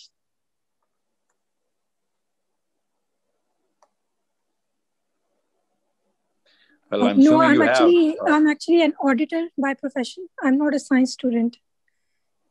ना ना ना साइंस नहीं है ये एक ओलंपिक्स की रेस है वो आपने देखे होंगे स्पोर्ट्स में एथलीट्स या भागते हैं तो okay. वो चार बंदों की रिले रेस होती है एक दूसरे एक बंदा भागता है फिर दूसरे को पकड़ाता है बेटॉन yes. और दूसरा फिर भागता है या पर ये बात yeah. आपने रिले याद रखना है जब भी जब भी जब भी आपने इल्म की बात करनी और दुनिया में मकसद की बात करनी तो आपने उस रेस का कॉन्सेप्ट रखना है नबी जितना भी मिजाज रखते रहे कोई भी नबी वो नबी इसी रिले रेस के मिजाज के ऊपर इल्म फैलाते हैं कि मैं तुम्हें पकड़ा रहा हूँ ये तुम्हारे लिए कोई गिफ्ट नहीं है ये एक रिस्पॉन्सिबिलिटी है ये आगे पहुंचानी है तुमने और इसी तरीके से पहुंचानी है और अपनी पीक परफॉर्मेंस लेके आना इसके अंदर तेज भागना है ताकि तुम ये पीछे ना रह जाना। कोई ना तुम पीछे रहो, ना तुम जिसको पकड़ाओगे वो भी पीछे रहे। कॉम्पिटेंस एंड ट्रूथ्स मतलब pure knowledge and the skill to convey that knowledge ये मुसलमान का और हर उस सेंसिबल बंदे का। साइंस वाले भी ये करने की कोशिश कर रहे हैं बाय द वे साइंस वाले भी। वरना प्रिंटिंग प्रेस ईजाद ही ना होती। प्रिंटिंग प्रेस की ज़रूरत क्या थी? ताकि नॉलेज को आगे प्रिजर्व करके आगे से आगे पहुँचा सो so, ये बहुत ध्यान में रखिएगा इस बात को कि आप जिस मर्ज़ी जॉब में हैं उससे फ़र्क नहीं पड़ता। मगर ऐसी जॉब जिसमें आपका वक्त ज़्यादा लग रहा है और आप स्लो हो रहे हैं आप उस काम के लिए कि जिसमें आपने वो बटन आगे पहुंचाना है इल्म आगे पहुंचाना है तो आपको दो काम तो चाहिए होंगे। एक तो आपको अगली नस्ल चाहिए होगी चाहे वो आपके अपने बच्चे हों चाहे और यंगस्टर्स हों जिसकी वजह से आप कहते हैं ना मैं यंगस्टर पे फोकस क्यों कर रहा हूँ? मैं यंगस्टर पे फोकस इसलिए कर रहा हूँ ताकि जो मिडिल एज लोग हैं जो थर्टी प्लस के हैं और सिक्सटी तक हैं जो कि जिनके बस में हैं वो बच्चे वो अपने बच्चों को तैयार कर सकें और उनको वो वो पकड़ा सकें कि ये ले इल्म की मशल मैंने तुझे पकड़ा दी अब तेरा काम मशल को आगे से आगे पहुंचाना है। सो so, इसीलिए मैं कहता हूँ कि हज़ार हज़ार साल की प्लानिंग करें। एक इंसान की औकात अगर हज़ार साल से कम है तो बस वो लाचारी में ही मरा है। वो अपना अपना ही सोचता था एक किताब लिखने वाला कोई सा एक आम सा राइटर आजकल तो एक यूट्यूब वाला बंदा अब डॉक्टर इसरार को का इंतकाल हो गया, दस बारह साल हो गए। मौलाना इसाक का इंतकाल हो गया दो हज़ार तेरह में। अहमद दीदात का इंतकाल हुआ एक्चुअली दो हज़ार आठ में। सोचें जरा, अभी तक उनका वो वो मशल आगे से आगे पहुँची जा रही। सबसे ज़्यादा वीडियो इस वक्त खोलते हैं तो डॉक्टर इसरार सामने नज़र आते जरा सोचें तो सही कि हमारा काम क्या है। हमारा काम है पिछले रनर से इल्म पकड़ना और अगले रनर को पहुंचाना। अपने तक रोक लिया तो आपने दुनिया में सबसे बड़ी ख्यानत कर ख्यानत सबसे बड़ी ख्यानत ये होगी ना कि मैं देखें एक बंदा एक दस बारह करोड़ रुपए बैंक में रखा हुआ और मर गया हो। किसी को वसीयत नहीं की उसने। तो क्या और पर, आपको पता है इतना ट्रिलियंस ऑफ़ डॉलर्स स्विट्जरलैंड की और यू नो केमन आइलैंड्स के और यू नो पैनामा के बैंकों में पड़ा हुआ किसी को पता ही नहीं किसका क्योंकि वो बंदे मर चुके हैं। लोगों से छुपाते फिरते थे। सो आपको पता चलता है कितना बड़ा नुकसान हो जाता है अगर पैसे एक बंदा बैंक में रख के मर जाए। अब सोचें पैसे की तो कोई औकात नहीं है। अगर इल्म अपने पास रख के बंदा मर जाए तो कितना कायनात हिल जाती होगी। हम तो देखते ही नहीं ना कितना बड़ा नुकसान होता था एक बंदे ने आगे ही नहीं पहुँचाया। किस लिए तू दु, दु, दुनिया में आए क्यों था अगर अगर तूने आगे नहीं पहुँचाया? तूने वो रेस रोक के रख दी। सारा कुछ निज़ाम ही तोड़ दिया। सो so, आगे से आगे पहुंचाना सबसे ज़्यादा ज़रूरी है और उसके लिए फिर अगले बंदों को स्किल डेवलपमेंट भी ज़रूरी है। मुसलमान दुनिया का सबसे कॉम्पिटेंट आदमी होना चाहिए। कि वो सबसे ज़्यादा, पहले तो ट्रूथ का क्वालिफायर जब सूर्य असर का तर्जुमा पढ़ते हैं तो साफ़ समझ आती है इस बात कि सिवाय वो शख्स, वरना सारे नुकसान में इसमें रहीम, वल असर इन्नल इंसान इन्नल मुस्लिमीन नहीं है। इन्नल इंसान लफी खुश इंसान नुकसान में रह गया। सिवाय कौन? जो ट्रूथ सीकर रहे। ट्रूथ सीकर हक की तलाश में रहे। वतवासो बिल हक और वतवासो बिल सब्र। मसलों में मसलों में सबर करते हुए, तकलीफें काटते हुए हक आगे से आगे से आगे से पहुंचाई जा रही है। क्यामत के आखिरी बंदे तक की कोशिश है मेरी और आपकी। मैंने लेकिन अपने बच्चों का आगे बस को ट्रेनिंग नहीं की। तू बड़ा बड़ा आदमी बन जाए बस। तू ज़्यादा मालदार हो जाए या तू ये कर ले, तू वो कर ले। दैट्स इट एकदम इनबाउंड हो गए। जब तक आप आगे पहुँचाने वाले नहीं है, आप मुसलमान हुए ही नहीं है। आप मुसल मतलब मैं मुसलमान ही नहीं हूँ जब तक मुझे ये सेंस निकली है कि मैं कौन सी रेस का हिस्सा हूँ। उम्मत का कॉन्सेप्ट क्या है? ये वो रिले रेस है, जो आगे से आगे पहुंचाएगी। बस आपका मशल आप तक आई इसको बुझने नहीं देना सबसे पहला काम। और इसके ऊपर कोई और मट्टी और आलूदगी नहीं आने देनी, और इसको आगे पहुंचाना है। और अगले बच्चों को तय करना है कि आलूदगी क्या होती है, मट्टी क्या होती है, कैसे बूझ सकती है। इसको कैसे अपने अंदर से तूने रोशनी देनी है, और आगे कैसे पहुंचाना है लोगों तो ये ये मुसलमान का बेसिक इस्लाम का सिस्टम ऐसे चल रहा है दुनिया इस्लाम क्या है? वो मशल है। मुसलमान क्या है? वो मशल को आगे से आगे पहुंचाता क़यामत वाले दिन तक एक बंदा, देखें, अल्लाह ताला ने बताया ना निशानी हदीस के थ्रू, क्यामत आएगी तब जब कोई मुसलमान नहीं बचेगा। जैसे ही हम ये रेस हारेंगे, क्यामत आ जाएगी। क्या आप क्या फ़ायदा? तुमने वो मशल ही बुझा दी। जैसे ही वो मशल बुझाएँगे, अल्लाह ताला कह रहा था, एकदम सूर फूका जाएगा। जब तक ये मशल जलती रहेगी, आगे पहुंचाते रहेंगे, तब तक इंसानियत की बका है। जैसे ही वो मशल खत्म point of being a human being ही खत्म हो गया। There is no point of any good once the mashal is down. That that that flame has to be shining for the rest of the people all the time. Allah ताला ने साफ़ बताया आप खुद सोचें, क्या सेंस थी क्यामत की? कि मुसलमान जब तक हैं, क्यामत नहीं आएगी। क्या सेंसेस की कुछ? इसका मतलब है अभी रेस जारी है हमारी। अभी हम कोशिशें कर रहे हैं। इतना बड़ा वादा करके आए अभी पूरा टाइम दे हमें। जैसे ही आपने मशल बुझाई, कहानी खत्म। इंसान तो होंगे जिन पर क्यामत आएगी ना। वो इंसान ही होंगे जिन पर क्यामत आएगी। मगर वो मुसलमान नहीं क्यों क्योंकि किसी एक बंदे से वो मशल आगे नहीं पहुंचाएगी। और वो कौन है वो? जिसके बच्चों की ट्रेनिंग नहीं हुई। जिसके माँ बाप ने उसको ट्रेनिंग नहीं दी हुई थी, वो आखिरी मुसलमान होगा, याद रखिएगा। वो नहीं कि जिसने अपने बच्चों को ट्रेनिंग नहीं दी थी सॉरी वो आखिरी मुसलमान होगा जिसके माँ बाप को ये नहीं पता था कि, भैया आपको मशल दी है, आगे बचानी है। उन्होंने लाइट ले लिया कैजुअल ले लिया और वो आखिरी मुसलमान होगा। सोचिए उस बंदे के माँ बाप के हालात क्या होंगे। जिसको, जिस जो लास्ट ह्यूमन मुस्लिम है ना मुस्लिम लास्ट ह्यूमन मुस्लिम। उसके माँ बाप की औकात क्या है? हम सबको कितना गुस्सा कि तू वो बंदा है जिसका आखिरी बच्चा, तू वो आखिरी मुसलमान जिसने अपने बच्चे को मुसलमान नहीं किया। मुझको मतलब तैयार नहीं किया। तेरे ऊपर क्या मत आएगी, तेरे बच्चों पर क्या मत आएगी। खुद सोचे वो कौन बदबख्त होगा जिसके बच्चों पर क्या मत आएगी? वो कौन है जिसको ये कॉन्सेप्ट नहीं समझ आया कि मशल आगे पहुंचानी थी भाई? It's this is the game that we are all supposed to play and we have to be so good at this game and this is I say हज़ार साल का प्लान बनाएँ। अपनी अगली नस्ल का बनाएँगे तो क्या पता हमारे बच्चों के ऊपर सूद फूका जाए। अगली से अगली से अगली नबी इस्लाम उम्मती उम्मती कर रहे हैं। वरना अपने बच्चों का भी सोच सकते थे साहबी नहीं, उम्मती सबसे आखिरी बंदा, क्यामत के दिन पैदा होने वाला बच्चा, उसकी फ़िक्र हो रही है। हम अपने पड़ पोतों तक नहीं पहुँच सकते। सोचें जरा। सो दिस इज़ इतना, इतनी बड़ी ज़िम्मेदारी है एक मुसलमान इतनी बड़ी ज़िम्मेदारी है अल्लाह ताला का बंदा बनना अल्लाह ताला का ये मिशन जो है ना वो आगे लेके जाना नबियों का मिशन आगे लेके जाना इतनी बड़ी ज़िम्मेदारी so get ready pull up your bootstraps and understand the bigger purpose then you'll find out दुनिया में मुसलमान क्यों नहीं डिप्रेस होते? मुसलमान मसलों में खुश क्यों होते? क्योंकि उनको पता था अब तो कहीं जाके टेस्ट हुआ हूँ मैं। अच्छे दिनों में तो काफर भी आगे पटान पहुँचा लेते हैं अच्छे दिनों में तो यू नो गैर मोमिन भी और एक खाली नाम का कलमा पढ़ने वाला बंदा भी मोमिन लगता है अच्छे बुरे दिनों में मुश्किलों में टेस्ट होता है मुसलमान। मुसलमान का ईमान टेस्ट ही तब होता है जब आफत आफत आती है उसको जब दुनिया तंग होती है उसके ऊपर। ओके तो तैयारी पर कराएँ अपने बच्चों को इंशाल्लाह। ओके जजाकल्लाह खैर okay Basit Basit you can unmute your mic and ask the question अस्सलाम वालेकुम सर सलाम वरहमतुल्लाह। सर मैंने एक आपसे कहने की क्लैरिफिकेशन लेनी थी जो बचपन से हमें बताया जाता है। जो वतनीत का या जो नेशनलिज्म है या जो कौमियत है या जो वतन से प्यार है, बताया जाता है कि ये आपके ईमान का हिस्सा है और वतन के लिए मारना है, वतन के लिए मरना है। वतन सब कुछ आपके लिए। तो इसका इस्लामिक पॉइंट ऑफ़ व्यू क्या है? कैंडली वो क्लैरिफाई कर दें। और क्योंकि डॉक्टर सरार का भी आपने ज़िक्र किया था, वो इसके काफ़ी खिलाफ थे। तो अगर किसी स्कॉलर को मुझे कुछ काम मिल जाए, लिखा हुआ कुछ किताब, ताकि मेरा जो है ना कि कॉन्सेप्ट थोड़ा क्लियर हो जाए।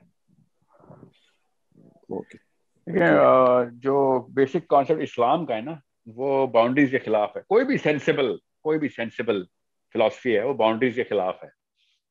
चाहे वो कम्युनिज्म हो, चाहे वो कैपिटलिज्म हो, चाहे वो ह्यूमनिज्म हो आप सोचें, आप भी आप भी।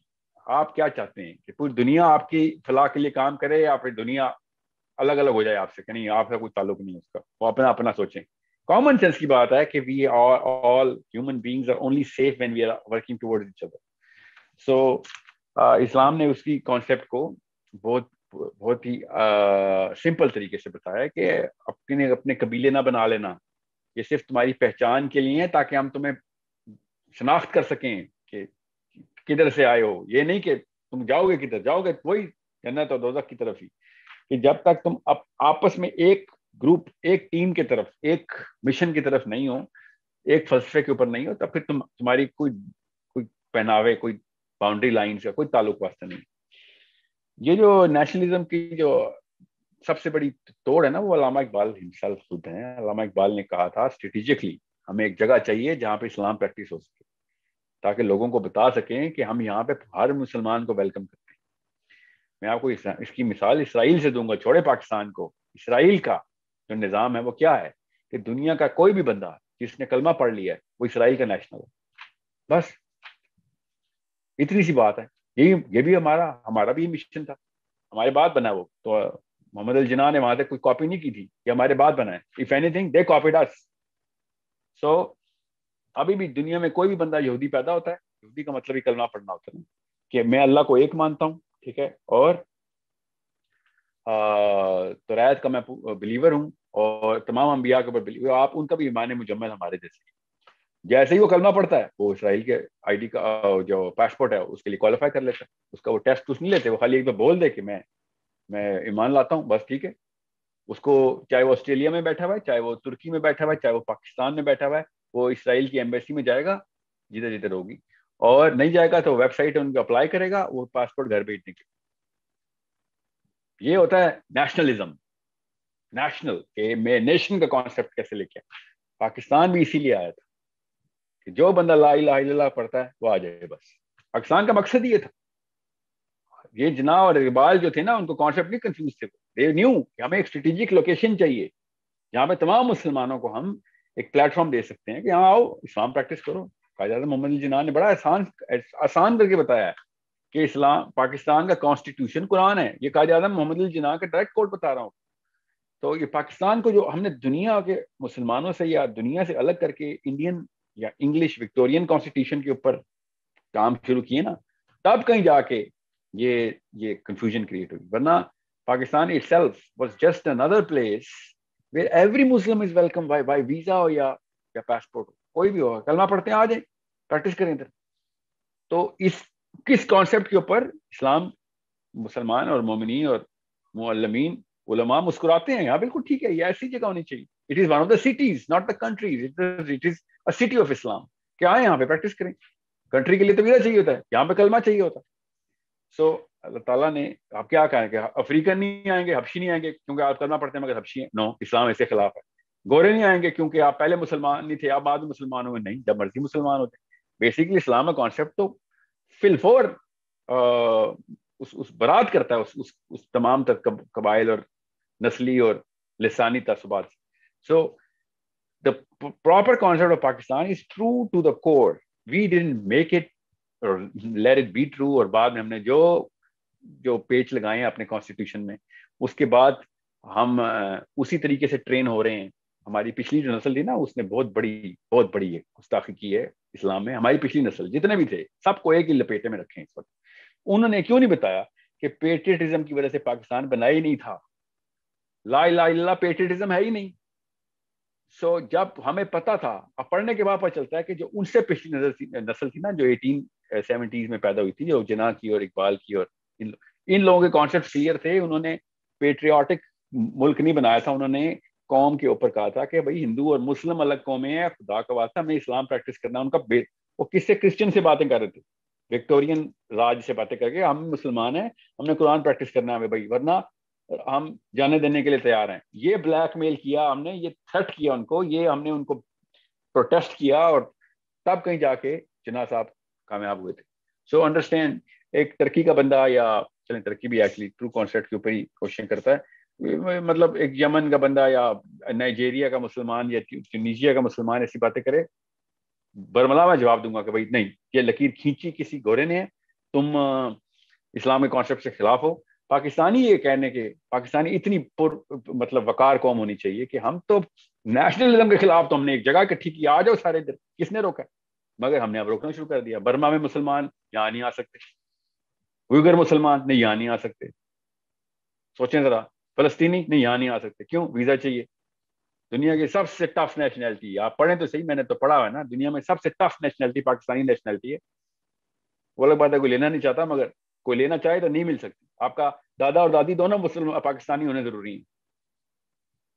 सो so, ये कौन सा मुल्क है जो ऐसी ऐसी सिक्के रखता है?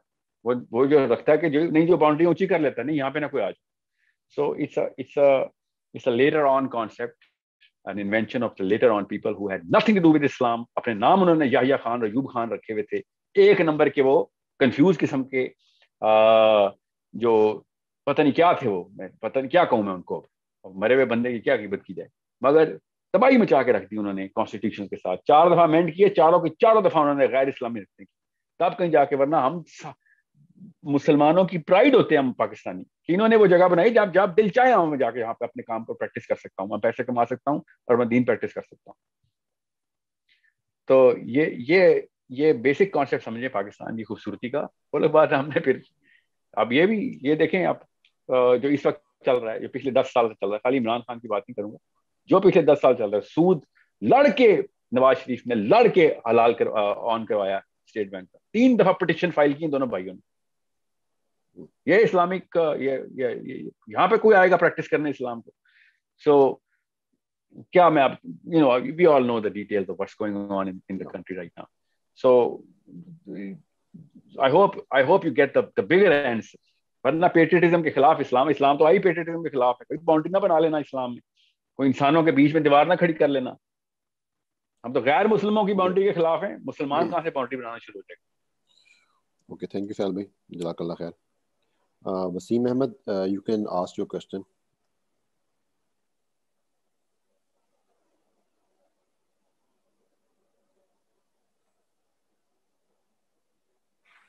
There? जी जी अस्सलाम वालेकुम वरकatuh साहिल भाई आपसे मेरा एक सवाल है.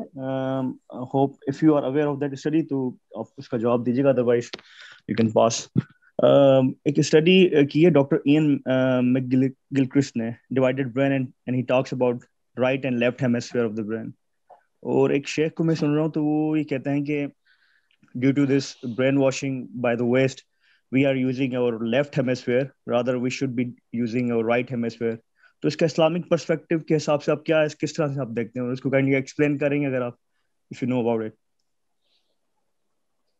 ठीक है, जो uh... basic split of the hemisphere है ना, वो बहुत ग्रे है न्यूरोलॉजी में, जो न्यूरोकेमिस्ट्री के अंदर हमारा जो लेफ़्ट हेमिस्फीयर है और जो राइट हेमिस्फीयर है। इसकी अभी तक अभी तक and I know and you read it as well and even Chris is gonna vouch for it कि we don't know for certain के लॉजिक और मेमोरी के आपस में इसको कोर्पस क्लोसम कहते हैं, जो दोनों हेमिस्फीयर को आपस में कनेक्ट करता है। हमें कॉर्पस क्लोसम का मतलब तो पता है, और उसके फ़ंक्शन भी पता है, मगर हमें हेमिस्फीयर की एब्सोल्यूट फंक्शनैलिटी नहीं पता प्लस कोई भी एक सेम न्यूरो बायोलॉजिस्ट आपको ये बता देगा कि hemisphere was too big of a world इतना बड़ा लफ्ज मत इस्तेमाल किया करें कि हेमिस्फीयर का ये काम है। ये हर सेंसिबल न्यूरोलॉजिस्ट ये बोलेगा।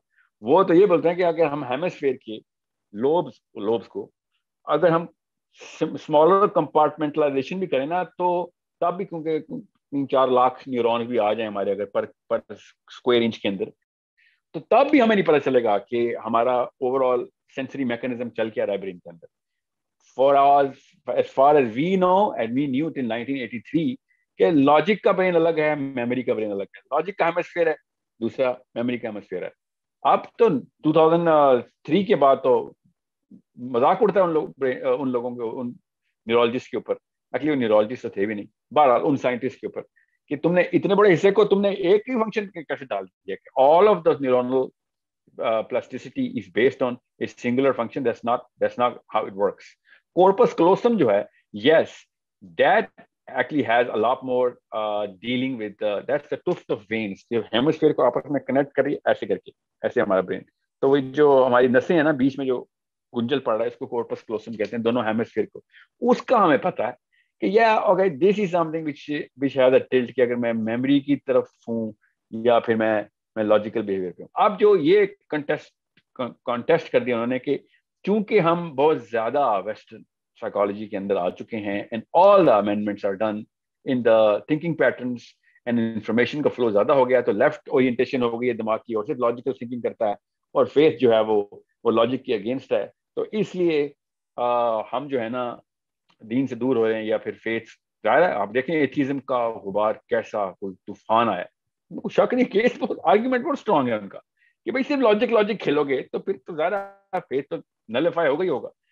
सो uh, so, ये मैं किसी और दिन किसी और सेशन में ये प्रोग्राम ज़रूर कर दूँगा कि फेथ का लॉजिक से क्या ताल्लुक है। मैंने किए हैं मैं काफ़ी सारी वीडियो मुझे याद है मेरी पहले साल की डिबेट ही होती थी फिर मैंने छोड़ दिया डिबेट करना because of so many reason but इस्लाम की जितनी भी कुरान पाक की निशानियाँ हैं ना, अभी जो पिछली सिस्टर ने सवाल किया था ना कि साइंस और साइंस वाला टेक्निकली स्पीकिंग अल्लाह ताला दावत दे रहे हैं आपके लेफ़्ट ब्रेन को बार बार कि सोचते क्यों नहीं हो, सोचते क्यों नहीं हो? वेर इज़ द और अल्लाह ताला के जितने भी आर्ग्यूमेंट्स है कुरान पाक में कुफार को जवाब देने के लिए, सारे के सारे लेफ़्ट ब्रेन स्पेसिफिक हैं। So it's not it's not a valid argument of the right कि आप जो है ना वो लेफ़्ट ब्रेन ओरिएंटेशन हो गई है तो दीन से लोगों को दूर किया जा रहा है, ये साजिश है। ये इसके पीछे सबूत और भी है। जब आप मेसोपोटेमियन सिविलाइजेशन को, जो ओल्डेस्ट नोन है, वो भी आप उनकी टैबलेट्स उठाएँगे तो आपको पता चलेगा, वो भी लेफ़्ट हेमस्फेयर ओरिएंटेशन थी। आप मायंस को पकड़ेंगे तो पता चलेगा, वो भी स्पेसशिप ही बना रहे थे लेफ़्ट ब्रेन ही थे। जब आपको पता चलेगा सुमेरियंस तो वो बताएँगे कि हमें फरिश्ता आके सिखाता था क्या सिखाता था वो सिखाता था इल्म सिखाता था तो इल्म तो नहीं आप you know this is all rational and all of that sense that was being created so over and over again we get that evidence कि West is not the first uh, civilization civilization तो नहीं बोलेंगे Judeo Christian खैर नहीं वो भी नहीं मैं बोलूंगा science is not the first realm जिसके थ्रू हमने अपना दूसरा हेमस्फेयर इस्तेमाल शुरू किया है। पहले से करते हैं इंसान की फितरत है इंसान हमेशा से सोचता आया है और उसको कॉन्टेम्पलेट करता हुआ आया अगर यही बात होती तो most amount of most amount of invention science के पहले दो साल दो सौ सालों में ना होती। Inventions, most amount of discoveries, most amount of uh, uh, you know uh, outreach of science was done by people of the book, चाहे मुस्लिम थे या क्रिश्चियंस थे। सो so uh, it's it's a I mean there's so many arguments that we can pile up कि जैसे पता चल जाएगा कि ब्रेन की जो ट्रेनिंग है ना वो दोनों किताबें करती हैं साइंस की भी और अल्लाह की भी। ओके जजाकल्लाह खैर थैंक यू मोहम्मद अहमद आप काइंडली अपना क्वेश्चन कर सकते हैं। अस्सलाम सर एम आई ऑडिबल वालेकुम सलाम। यस सर सर पहले तो आपके लिए बहुत ज़्यादा दुआएँ। अल्लाह ताला आपके इलम में और बरकत दे और इसको मजीद नूरानियत बख्शे। क्वेश्चन मेरा ये था, आपने आज टॉपिक में ज़िक्र किया था रहम के बारे में। तो सर, आपने कहा कि हमें रिश्ते नहीं तोड़ने चाहिए और एक दूसरे को बॉन्डिंग में रखना चाहिए। सर, जो हमें धोखा देता है उसके बारे में आपका क्या राय है? उसके साथ भी हम रहम करें और अगर हम रहम करते हैं तो उसके साथ कता ताल्लुक नहीं करनी। तो फिर उसको हमने कैसे लेके चलना अपने साथ? ये सारे सिलसिले में बॉन्डिंग में। इसके बारे में जरा बता दें। उसके साथ कॉशियसली चलना है, मगर उसका ताल्लुक तो नहीं तोड़ेंगे। हदीस हदीस जो है ना, वो ट्रंप करेगी हर चीज़ को बस। और हदीस की सेंस हमें पता है। ऐसी भी नहीं कि हमें अजीब लगे ना। हदीस की सेंस ये है कि मेरे साथ कोई करे तो कैसा लगेगा? कोर्स बुरा लगेगा। ताल्लुक टूटेगा तो मैं आइसोलेशन में जाऊँगा, मेरी साइकोलॉजी वीक हो जाएगी, मैं किसी काम का नहीं रहूँगा। पूरी दुनिया अगर मुझसे कतर ताल्लुक कर ले। तो सेंस तो हमें पता है इसकी। एम्पति की सेंस है इसके पीछे। So the real question is के धोखेबाज के साथ क्या करें? एहतियात करें, मगर ताल्लुक नहीं तोड़ेंगे आप। कुछ रात दावत करेंगे, फिर समझाएँगे भी उसको। मगर मुसलमानों के ताल्लुक तोड़ दिए कि नहीं, मैं दूसरी दफ़ा तेरे से नहीं डसा जाऊँगा। ऐसे नहीं होगा। आप ताल्लुक रखेंगे। ज़ाहिर आप डसे नहीं जाएँगे। कॉशियस रहेंगे। जब तक कि वो तोबा तायब नहीं होता। मगर आप, ऐसे तो नहीं होता कि आप धोखा धोखा दें और कोई धोखा दे और आप उसको माफ़ करने की बजाय सजाओं के ऊपर आ जाए। बिल्कुल, आप कॉशियस, कॉशन देंगे। कोई शक नहीं। आ, मगर तथा तालो की अलाव ही नहीं है जो मर्ज़ी हो जाए। क्या नबी इस्लाम को नहीं पता था कि धोखेबाज भी इस हदीस के का, का फ़ायदा उठा के वीटो ले लेंगे? उनको तो उनकी तो ईद हो जाएगी। क्यों? हर बंदा उनसे ताल्लुक रखने की कोशिश कर रहा है हर एक को धोखा दे रहे ही। Knew that and still he like जो है ना राम तो आप राम करेंगे आप। Thank you so much sir okay thank you खाली धोखा दुनिया में कोई बंदा सिर्फ़ धोखेबाज नहीं है। उसमें वो भी बड़ी अच्छाई है। उसका भी इस्तेमाल है बाकी के इंसानों को। ओके ओके अनम खान आप काइंडली अपना क्वेश्चन कर सकती हैं। अस्सलाम वालेकुम sir I am from India और uh, मैं आपको बहुत बहुत uh, अल्लाह मुबारक आपके आपसे मैंने बहुत कुछ सीखा है। अभी मैं I am listening to you since three to four weeks सब मैं आपसे पूछना चाह रही थी कि आदम सलाम को जब अल्लाह ताला ने कहा कि मैंने उनको अस्मा सारे सिखा दिए थे तो अस्मा से अरबिक में तो अस्मा इज़ नॉट ओनली नेम ना, कि वो तो नाउन भी है और एडवर्ब्स एडजेक्टिव आइडियाज़ ये सारे सब अस्मा में आते हैं इसमें ही आते हैं। तो ऐसा है क्या कि आदम सलाम की ऑलरेडी इनबिल्ट था जो सारे इन्वेंशन होंगे, आगे तक, कयामत तक आने वाले सारे हैं जो उसमें ऑलरेडी मतलब हमें ऑलरेडी इनबिल्ट है वो सारी चीज़ें।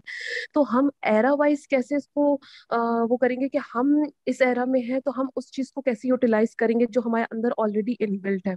और मेरा सेकंड क्वेश्चन ये था कि आदम सलाम को खलीफा कहा गया है और दाऊद दाऊद सलाम के लिए खलीफा वर्ड यूज़ हुआ है। जब आदम सलाम को आलम में जब, आलम में वहाँ जहाँ पे उनको दिखाया गया था आदम सलाम को सारी उनकी औलादें तो आदम, वो दाऊद सलाम पे रुके थे और उनको चालीस साल कहा था कि आ, मतलब चालीस साल आप इनको मेरी उम्र दे दीजिए। तो इससे दाऊद सलाम का क्या रिलेशनशिप था जिसमें सिर्फ़ उनके लिए खलीफा वर्ड यूज़ हुआ है और आदम सलाम के लिए खलीफा वर्ड यूज़ हुआ है? मैं दो चीज़ों में बहुत कंफ्यूज थी और मैंने अभी अभी अरेबिक ग्रामर पढ़ना शुरू करी हूँ तो मैं थोड़ा कंफ्यूज हो रही थी तो आप प्लीज़ मुझे इसके बारे में क्लैरिफिकेशन दे दीजिए।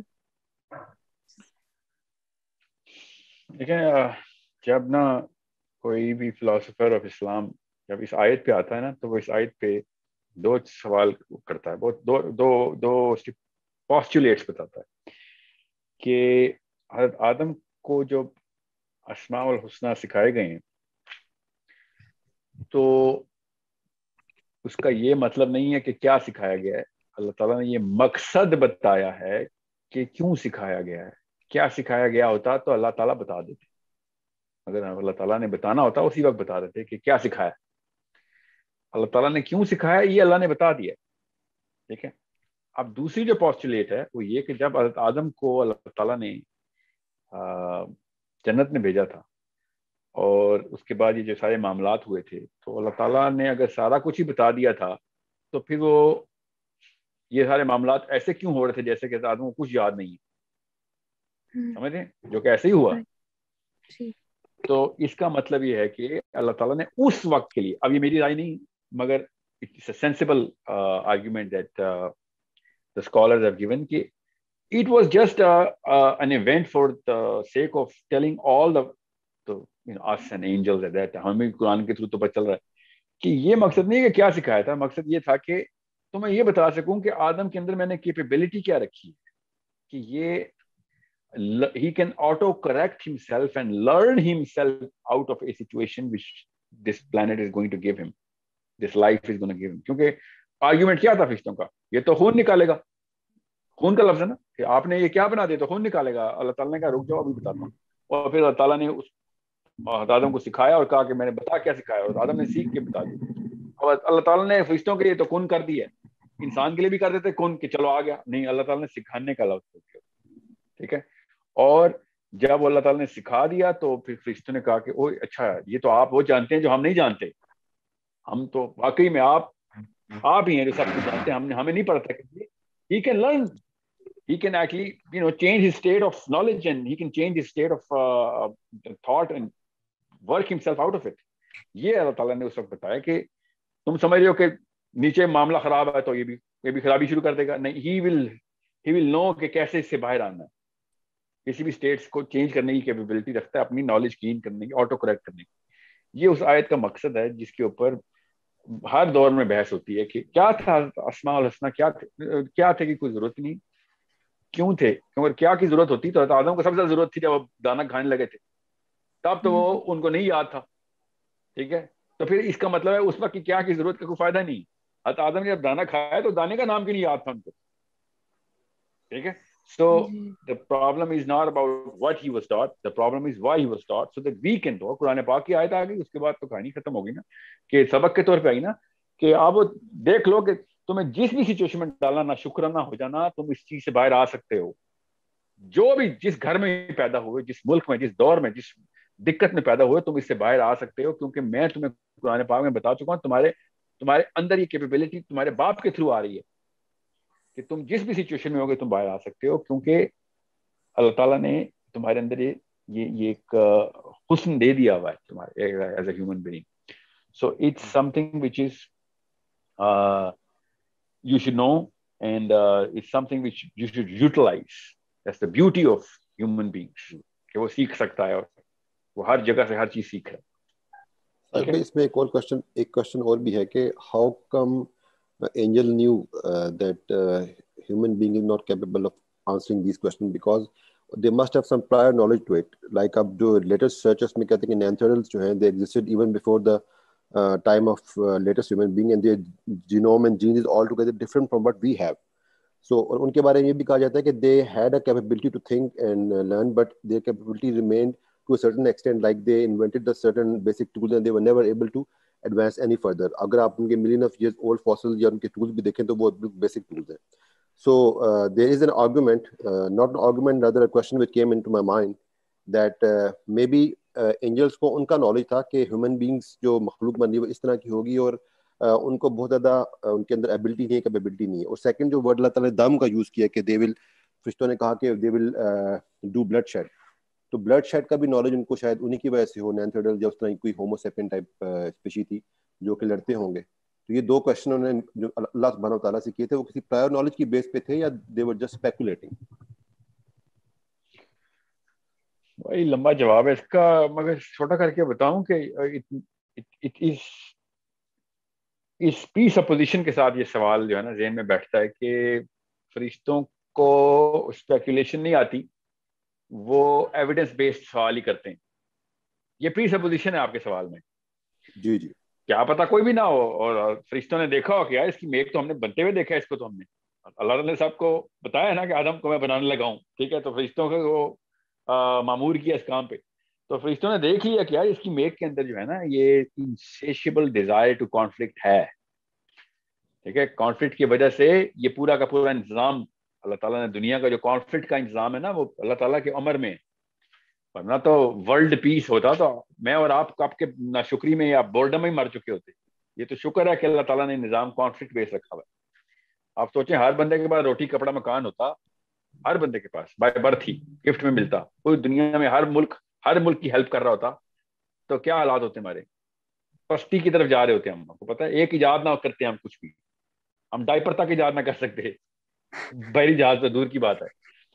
तो आप ध्यान रखें, ये जो कॉन्फ्लिक्ट है ना इस डिज़ाइन ऑफ़ अल्लाह ताला की जिसकी वजह से इंसान तरक्की की तरफ़ जा रहा है और वो कॉन्फ्लिक्ट की डिज़ायर जो है, वो उसने फरिश्ते ने देखी है, जब वो तो उसने बनते हुए देखी है कि भाई इसकी तो केमिस्ट्री में कॉन्फ्लिक्ट है। He needs the conflict to be created उसके अंदर से एक से अगले से अगले, से अगली जस्ट लगाता है। ठीक है? पहली नस्ल भी अगर, पहली नस्ल अगर वर्ल्ड पीस अटेन कर लेती ना तो आज हम क्या सर्वाइव भी ना कर चुके कर सकते। ठीक है? We survive because we went into a अपनी बनाई हुई मशीनें हमारे ऊपर फट पड़ी, हमने उसके लिए फिर दोबारा से यू नो क्या उसे कहते हैं रिकॉन मिशन किए हैं। अपनी अपनी सोच के ऊपर ही अपने अपने आपस में तबाहियाँ करके। बंदूक ना ईजाद हुई होती है अगर जंग ना करते। ठीक है? अभी भी एक दूसरे को पत्थर मार रहे होते हैं दरख्त के पत्ते मार रहे होते हैं। ठीक है? तीर ना याद होते। Every single thing is based on that inner desire of the conflict that I need that. That's why human beings are going to fight till the end. Till the end. जब तक ईसा इस्लाम नहीं आते और कहते हैं बस अब ये ले वर्ल्ड पीस और ये वो इबन आदम है कि वर्ल्ड पीस हज़रत ईसा लेके आएँगे उसके बाद दोबारा उठा के ज़मीन पे फेंक देंगे सोचें जरा ये ऐसा इंसान है हम कि वर्ल्ड पीस अचीव हो चुका होगा सब मुसलमान हो चुके होंगे और चालीस साल बाद हम दोबारा से तैयारी उठेंगे सो so, ये ये इसके लिए जिन या बिन की ज़रूरत नहीं थी जो पहले से चल फिर रहे थे या कोई और मखलूक, वो हमारी केमिस्ट्री के अंदर देख रहे थे। ऑर्गन तो रिश्तों के हाथों बनाए हुए ना कि ये भी इधर लगा दो, इधर लगा दो। अल्लाह तो रिश्तों के थ्रू काम लेते हैं। नाहनू का लफ्ज है। नाहनू, ठीक है? सो अल्लाह ताला जब ऑर्डर दिए ना कि ये लो, ये निज़ाम के थ्रू बनाया।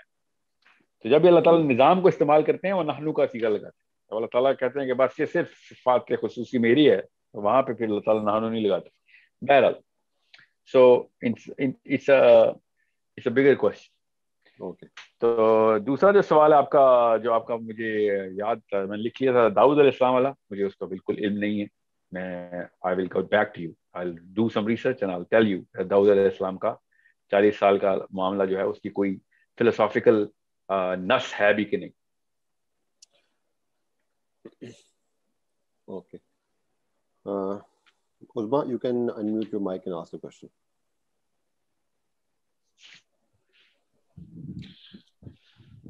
जी अस्सलाम वालेकुम अच्छा मैं वही जो सवाल आपसे कर रही थी पहले डिस्कनेक्टेड हो चुके थे वो आ, मुझे ये पूछना है कि जब हम कुरान में पढ़ते हैं कि आयात आफाकी और आयात अनफुसी है तो इसका नॉन साइंटिफिक जो है ना इसका क्या हम किस तरह से देखेंगे? एक लेमैन कैसे इसको देखे आयात अनफुसी को आयात आफाकी को?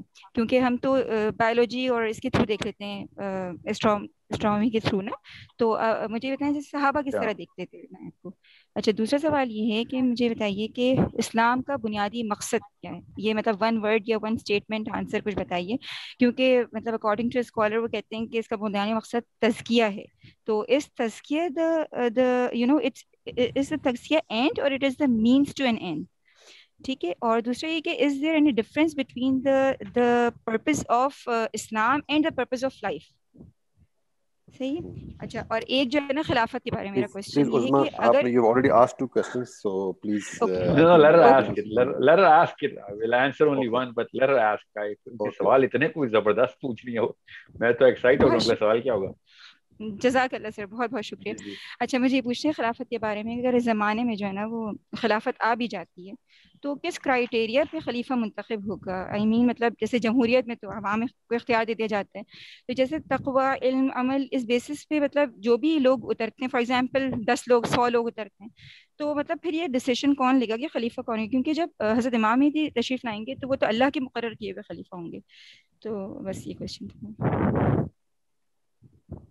आखिरी सवाल तो छोटा है मैं बता दूँ हज़रत इमाम मेहदी ने जब आना है तो उस वक्त फिरके फिरके सारे बने होंगे देवबंदी बरेलवी शिया सुन्नी और टीवी पे ही चल रहा होगा एक नया टेररिस्ट आया कोई सामा बिन लादेन टाइप का। ठीक है कौन जाएगा उनके पास? आप क्या समझ रही हैं? इतनी पीक ऑफ़ द पीक के अंदर इमाम मेहदी आए और सिर्फ़ तीस हज़ार का लश्कर मिला उनको। क्यों? क्योंकि नाइन्टी परसेंट फिरकों ने कहना है हमारे फिरके का नहीं है। ये ये मसला है इसलिए तो, तो खिलाफत आ नहीं सकती। कोई अहले उम्मत है कोई नहीं। अहले हदीस सारे हैं, अहले बैत वाले सारे हैं, ठीक है? अहले साहबा हैं। अहले उम्मत कोई नहीं है, इसलिए इमाम मेहदी को वही बंदे मिलने हैं जो कि उम्मत के खैर खा होने अल्लाह ताला ने फिर चुने हुए हैं वो लोग।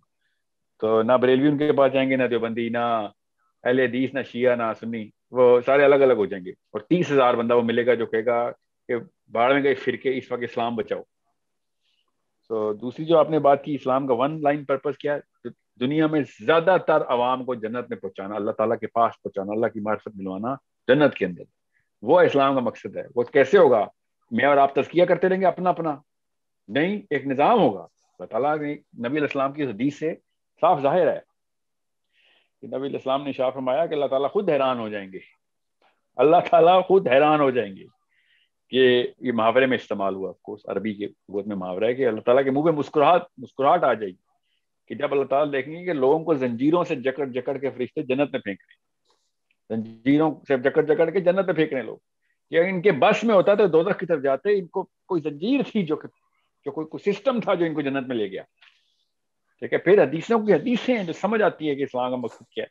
कि सिद्दीकीन नीचे जाओ, औलिया नीचे जाओ फिर अंबिया नीचे जाओ जाओ बुले सराज से नीचे जाओ जो भी बचा है उसको रत्ती बराबर भी है ना डॉट भी है ईमान का उसको उठा के लेके आओ वापस। फिर अल्लाह ताला कहते हैं कि उसके बाद भी जब सब कूड़ा रह जाएगा नीचे कूड़ा करकट इंसानों का कि जो सिर्फ़ अल्लाह के दुश्मन थे उस पर भी अल्लाह ताला ये बुखारी के दी सुना रहा हूँ फिर अल्लाह ताला अपना हाथ बढ़ा के उस कूड़े में से इंसान उठाएँगे जन्नत फेंक देंगे कि अल्लाह का अल्लाह के किस कानून का मोहताज है अल्लाह जो चाहे करे। सो so, बेसिकली साफ़ समझ आ रही है कि we are we are here to get more people towards the goal और more people towards the goal सिर्फ़ और सिर्फ़ निज़ाम के थ्रू ही आ, जा सकते हैं। कॉमन सेंस की बात है। ये निज़ाम ठीक होगा तो ज़्यादातर लोग जो यार उन्होंने ना किताबें पढ़नी होती है ना उन्होंने कुरान पढ़ना होता है। निज़ाम ठीक है तो वो गुनाह ही नहीं कर सकते गुनाह नहीं कर सकते तो जन्नत की तरफ़ जाएँगे। ये जो तजकिया नफ्स है ना it's just a means end is we know what the end is तजकिया नफ्स is one of the many means अपना अपना तजकिया ही नहीं करेंगे तो लोगों को क्या दावत देंगे? अमल नहीं आएगा तो बाद में असर कैसे आएगा? तजकिया नफ्स खाली इंफरादी अमल है। मैं किसी का तजकिया नफ्स कैसे कराऊं? मुझे बताएँ दावत दे बताएँ, अमल तो उसको खुद करना पड़ेगा। नाइन्टी परसेंट ऐसी चीज़ें जो मेरे बस में ही नहीं है कि मेरे अपने बच्चे भी कर सके। इमरान खान साहब ने या नवाज़ शरीफ साहब ने कंट्रोल की हुई। तो जब निज़ाम ही ऐसा है, मैं जाऊँ फलस्तीन में किसी को भेजूँ? भेजूँ किसी को यमन में? देखता हूँ कि तीन दिन बाद, सबसे पहले तो अपने मुल्क की जेलों में पड़ा हुआ मैं आऊँ कि फलस्तीन का रुख के इधर आ रहा, तुम टेररिस्ट टाइप आदमी अब तो उम्मत के नहीं सोच सकते। तो जब तक निज़ाम नहीं होगा, तब तक आप किसी भी किसी भी मामले को बिगर पिक्चर में अचीव नहीं कर सकते। तो ये आपका दो सवाल मैंने कवर कर दिए हैं। पहला जो आपका सवाल था कि नफसी आयात जो, क्या? अल्लाह ताला ने कहा कि आसमानों में देखो। हज़रत नू की कौम से कह रहे हैं अल्लाह ताला। हज़रत नू की कौम से क्या आसमानों में देखो निशानी। हज़रत नू की कौम के बाद कौन टेलीस्कोप है? ठीक है सो अल्लाह ताला ने कुरान पाक में कहा है। मोमिनीन का नहीं कहा, अल्लाह ताला ने कहा, उनसे पूछ लो कि जो इल्म रखते हैं, इल्म वाले हैं। ठीक है? सो मुसलमानों को ये गैरत दिलाई अल्लाह ने इल्म हासिल करो भाई, ताकि ईमान भी तुम्हारे पास हो, इल्म भी तुम्हारे पास हो। ठीक है? So it's a it's a big big responsibility on a Muslim तो नफसी आयतें तो साइंस की आयतें हैं। बताएँ ना, आप मुझे बताएँ, कैसे मुझे पता चलेगा? फ़ी के अल्लाह ताला क्या निशानियाँ दिखा रहे हैं? तुम अपने अंदर झाँक के देख लो निशानियाँ। मैं कैसे झांकू अपने अंदर?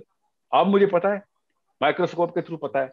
मुझे मेडिकल साइंस के थ्रू पता है। अल्लाह ताला ने निज़ाम किस तरीके से चमका के रखा है अंदर? वही एग्जैक्ट निज़ाम है जिसकी निशानी आसमान में।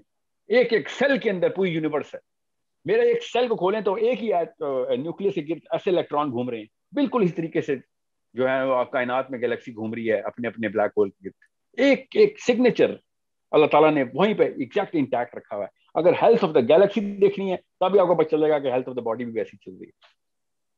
किसी एक जगह के ऊपर भी निज़ाम, चाहे नबातात हो, चाहे हैवानात हो, वो निज़ाम नहीं बदल रहा कि overall function functional capacity enhance कैसे करनी है एनालाइज कैसे करनी है।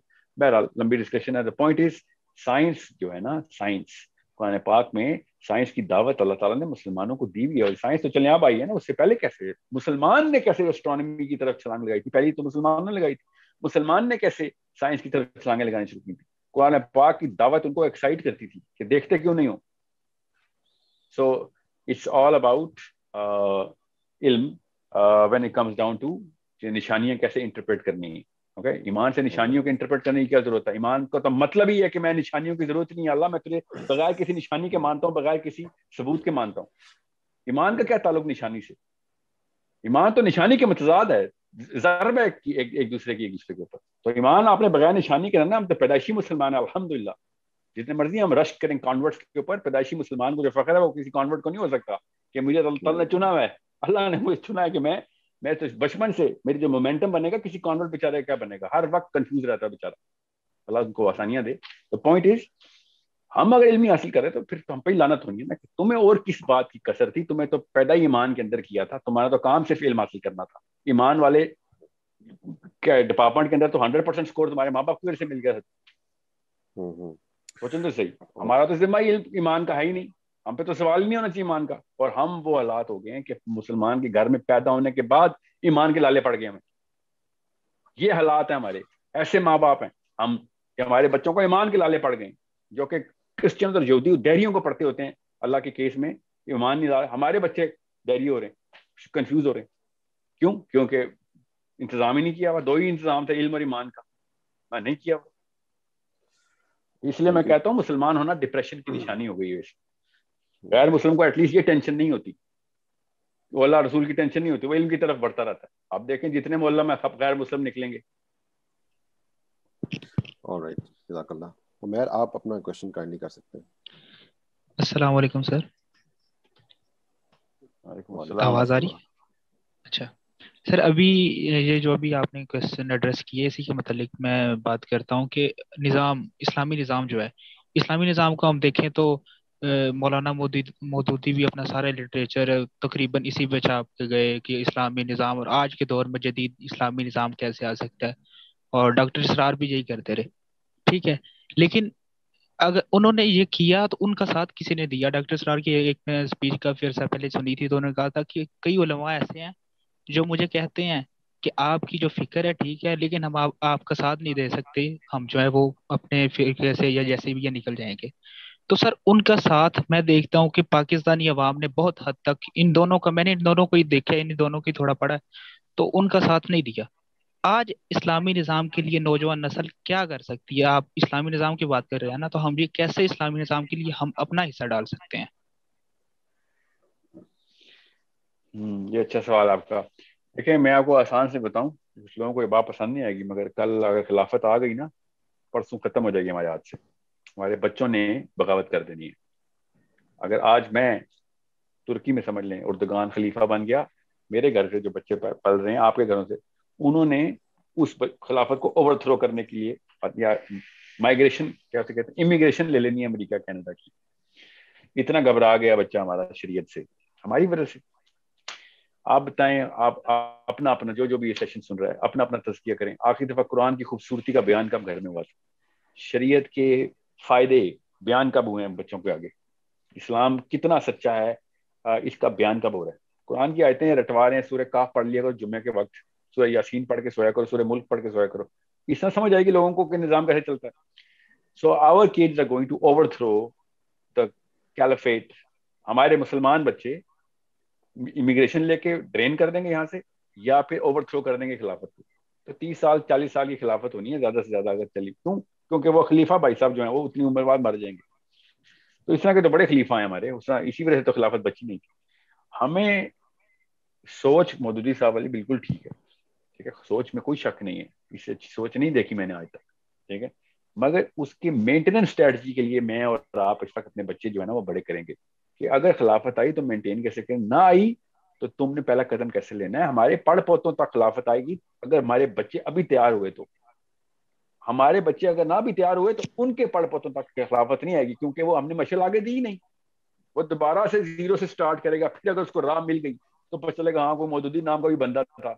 आप बताएँ आप और मैं क्या समझ रहे हैं? दुनिया में कितने बंदे हैं जो इस्लाम के सिस्टम को या कुरान पाक को जानते हैं या मौदूदी साहब की या, या इसाक साहब की फ़िक्र से वाकिफ है? आपने इसाक साहब नहीं कहा आपने क्या कहा? डॉक्टर साहब डॉक्टर साहब की फ़िक्र से वाकिफ। तो कितने? वन परसेंट सैयद कुतुब का नाम बताएँ, पूरा नाम नहीं पता किसी को। वन परसेंट भी नहीं है।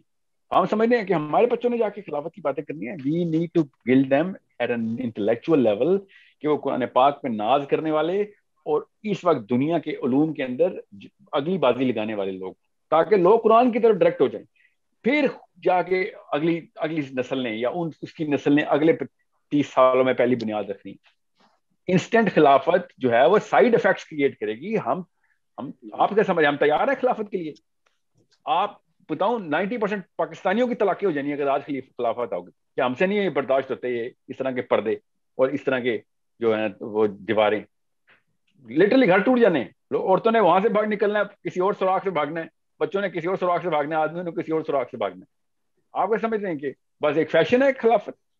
देर इज़ नो वे सबसे बड़ा दुश्मन खिलाफत का मुसलमान है। और वो कौन है? क्योंकि उसके अम्मा और अब्बा ने उसको वो वो जिसे कहते हैं ना, जर्नी से गुजारा नहीं हुआ।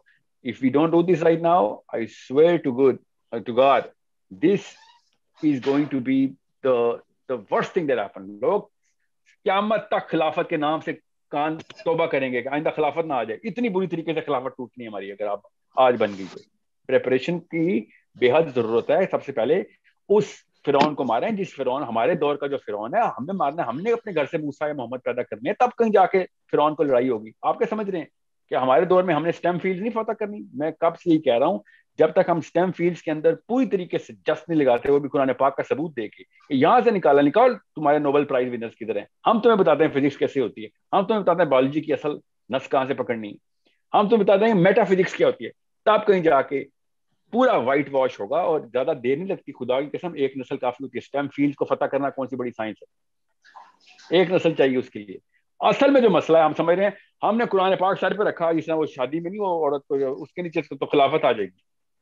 अल्लाह बचाए ऐसी खिलाफत से कि जो तीन दिन में टूटे और सारी उम्र, जैसे वो अब क्या सियासत की बात करूँ कोई बंदा अल्लाह के नाम पे कोई प्रेसिडेंट बन जाए और उसके बाद बुरी तरीके से फेल हो जाए तो आइंदा कभी कोई अल्लाह के नाम पे कोई प्रेसिडेंट नहीं बनने देगा कोई। ठीक है, जो आजकल हो रहा है बेचारे उस इमरान खान के साथ, कि हक और करप्शन के खिलाफ बात हुई थी, उसके बाद इतना बुरा हाल पाकिस्तान में कभी नहीं हुआ। आइंदा कभी भी कोई बंदा ये वाला स्लोगन नहीं रख सकता जो पीटीआई वाले ने रखा हुआ क्योंकि लोगों को पता होगा यार, ये ये काम करने होते हैं अगर इस तरह के बंदा, वो जो है ना एंटी करप्शन की बातें करे तो। I am not a PTI fan और Muslim League fan I am not into you know my approach आप सबको पता ही है। पर हम सेइंग खिलाफत के नाम के ऊपर कोई नाहल आ गया तो अगले पाँच सौ साल तक कोई खिलाफत का नाम नहीं लेगा। इसलिए बहुत ध्यान से खिलाफत का नाम लेना हमने। It's not a small matter जब तक आप इल्म के दर्जात को इंटेलेक्चुअली फतह नहीं करते। इंटेलेक्चुअली जब तक मुसलमान इंटेलेक्चुअल हुक्मरानी नहीं करेगा, कोई भी मुसलमान, दस या पंद्रह भी काफ़ी होते हैं, याद रखिएगा। मुसलमान इंटेलेक्चुअल हुक्मरान हमारे घरों से नहीं ना निकलेंगे, तब तक पॉलिटिकल हुक्मरान नहीं निकालने चाहिए हम। हम हम होते कौन है किसी के ऊपर पॉलिटिकल राज करने वाले? So it's it's a very big matter मैं नहीं कह रहा हूँ कि पॉलिटिकल हुक्मरानी चाहिए। खुदा की कसम, उसके अलावा तो हुसैनी फलसफे से ही हमने अपने आप को अलग कर दिया। हमें पॉलिटिकल हुक्मरानी चाहिए, वरना हुसैन के फॉलोअर ही नहीं है। मगर तीन दिन नहीं चलनी वो वाली पॉलिटिकल हुक्मरानी, क्योंकि हमने नीचे से करप्ट बच्चे पैदा किए हुए सर। नवाज़ शरीफ इमरान खान ने कुछ भी नहीं किया, खुदा की कसम। अगली नस्लों ने तबाही मचानी है ना, नवाज़ शरीफ इमरान खान पे प्यार आएगा हमें। कि ऐसे ऐसे मोमिन थे लोग। ये डोपामीन के एडिक्स जब पीक पे आएँगे ना अपनी, हमारे बच्चे जो हैं, उन्होंने तो जो जो हरकतें करनी है, उसको उसको तो मैं और आप अभी सफ़र में लेके आ सकते। बहरहाल, खिलाफत की जो इनकारी है, वो तो मुसलमान ही नहीं है, निज़ाम से इनकारी उसको तो इस्लाम समझ ही नहीं आया, ठीक है? मगर तो तरीक़ेकार हमारे थ्रू ही होगा। मैं फिर बता दूँ, ज़्यादा लंबा काम नहीं है, एक नस्ल पे काम करना है। बस कोई शुरू कर दे। एक नस्ल पे काम शुरू कर दिया उससे अगली नस्ल उमर खत्ताब की लेवल की प्रोड्यूस हो सकती है। अभी नहीं हो सकती सॉरी अभी तो हमने बहुत उदम मचा दिया। मेरे अम्मी अबू ने बहुत उदम मचा दिया। मेरे बच्चों के ऊपर मुझे वो, वो इंतज़ाम करने हैं। वरना ये वाले लोग बैठे होते पार्लियामेंट हाउस और इस तरह की डेमोक्रेसी चल रही होती। Okay thank you जजाकल्लाह Naveed Ilyas you can unmute your mic and ask the question जी अस्सलाम वालेकुम साहिल भाई। वालेकुम सलाम जी, इस टाइम मैं साउथ कोरिया में हूँ और सुबह के पाँच बयालीस हो गए हैं तो काफ़ी टाइम हो गया। सॉरी आपका टाइम ज़्यादा नहीं लूँगा।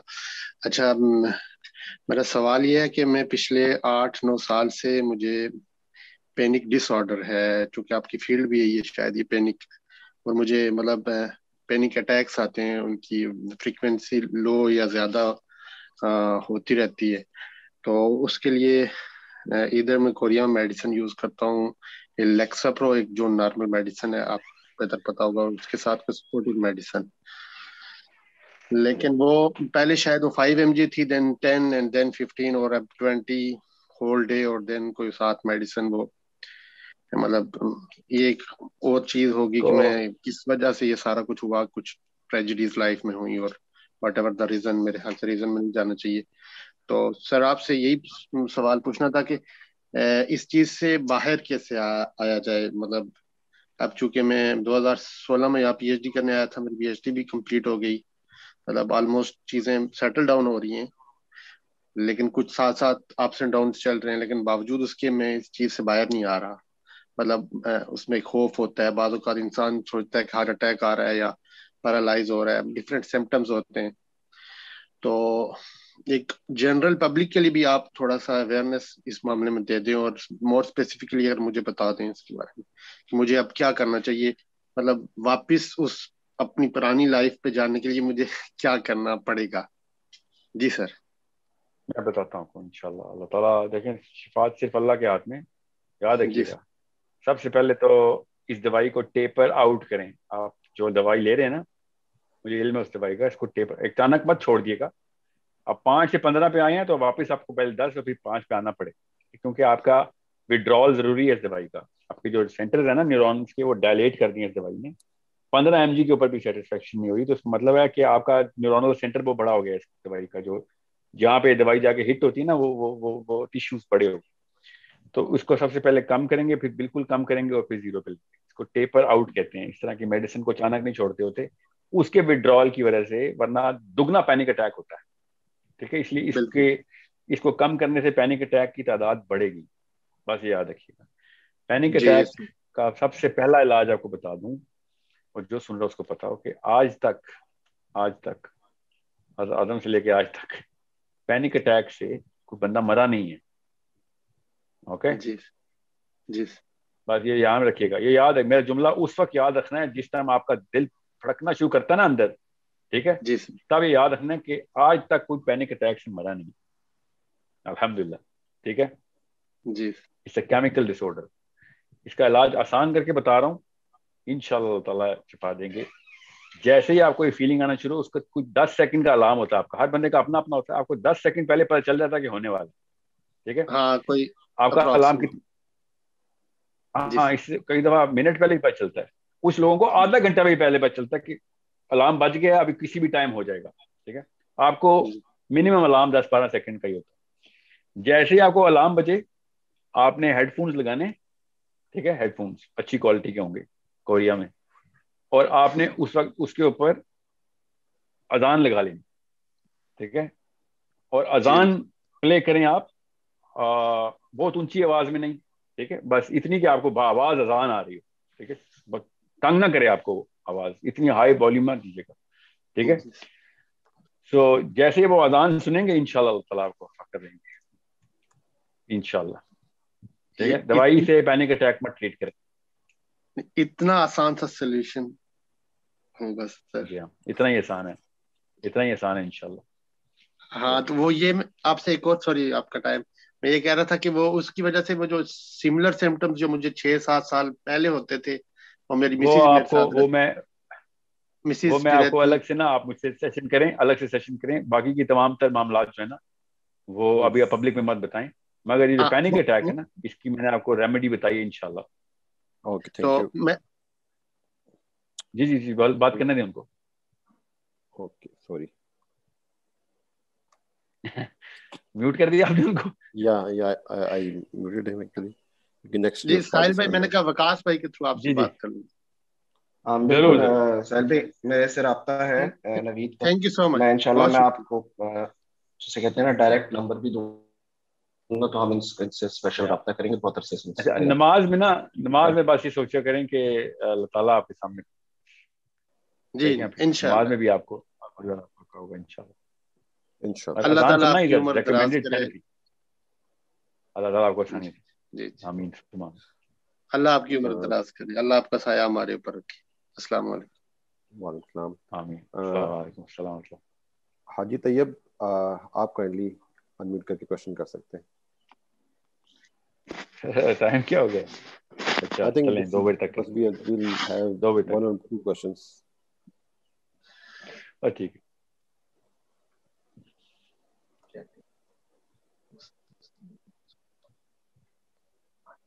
I think uh, available नहीं है. Anyways. Okay we can do next next participant. Uh, Adeel mother आप काइंडली अपना क्वेश्चन कर सकते हैं अनम्यूट करके. अस्सलाम वालेकुम। वालेकुम अस्सलाम। आवाज़ आ रही है सर? अच्छा सर मेरा क्वेश्चन ये है कि सर पीछे भी भाई ने सवाल पूछा है कि अल्लाह नूर समावाति वल अर्द के बारे में।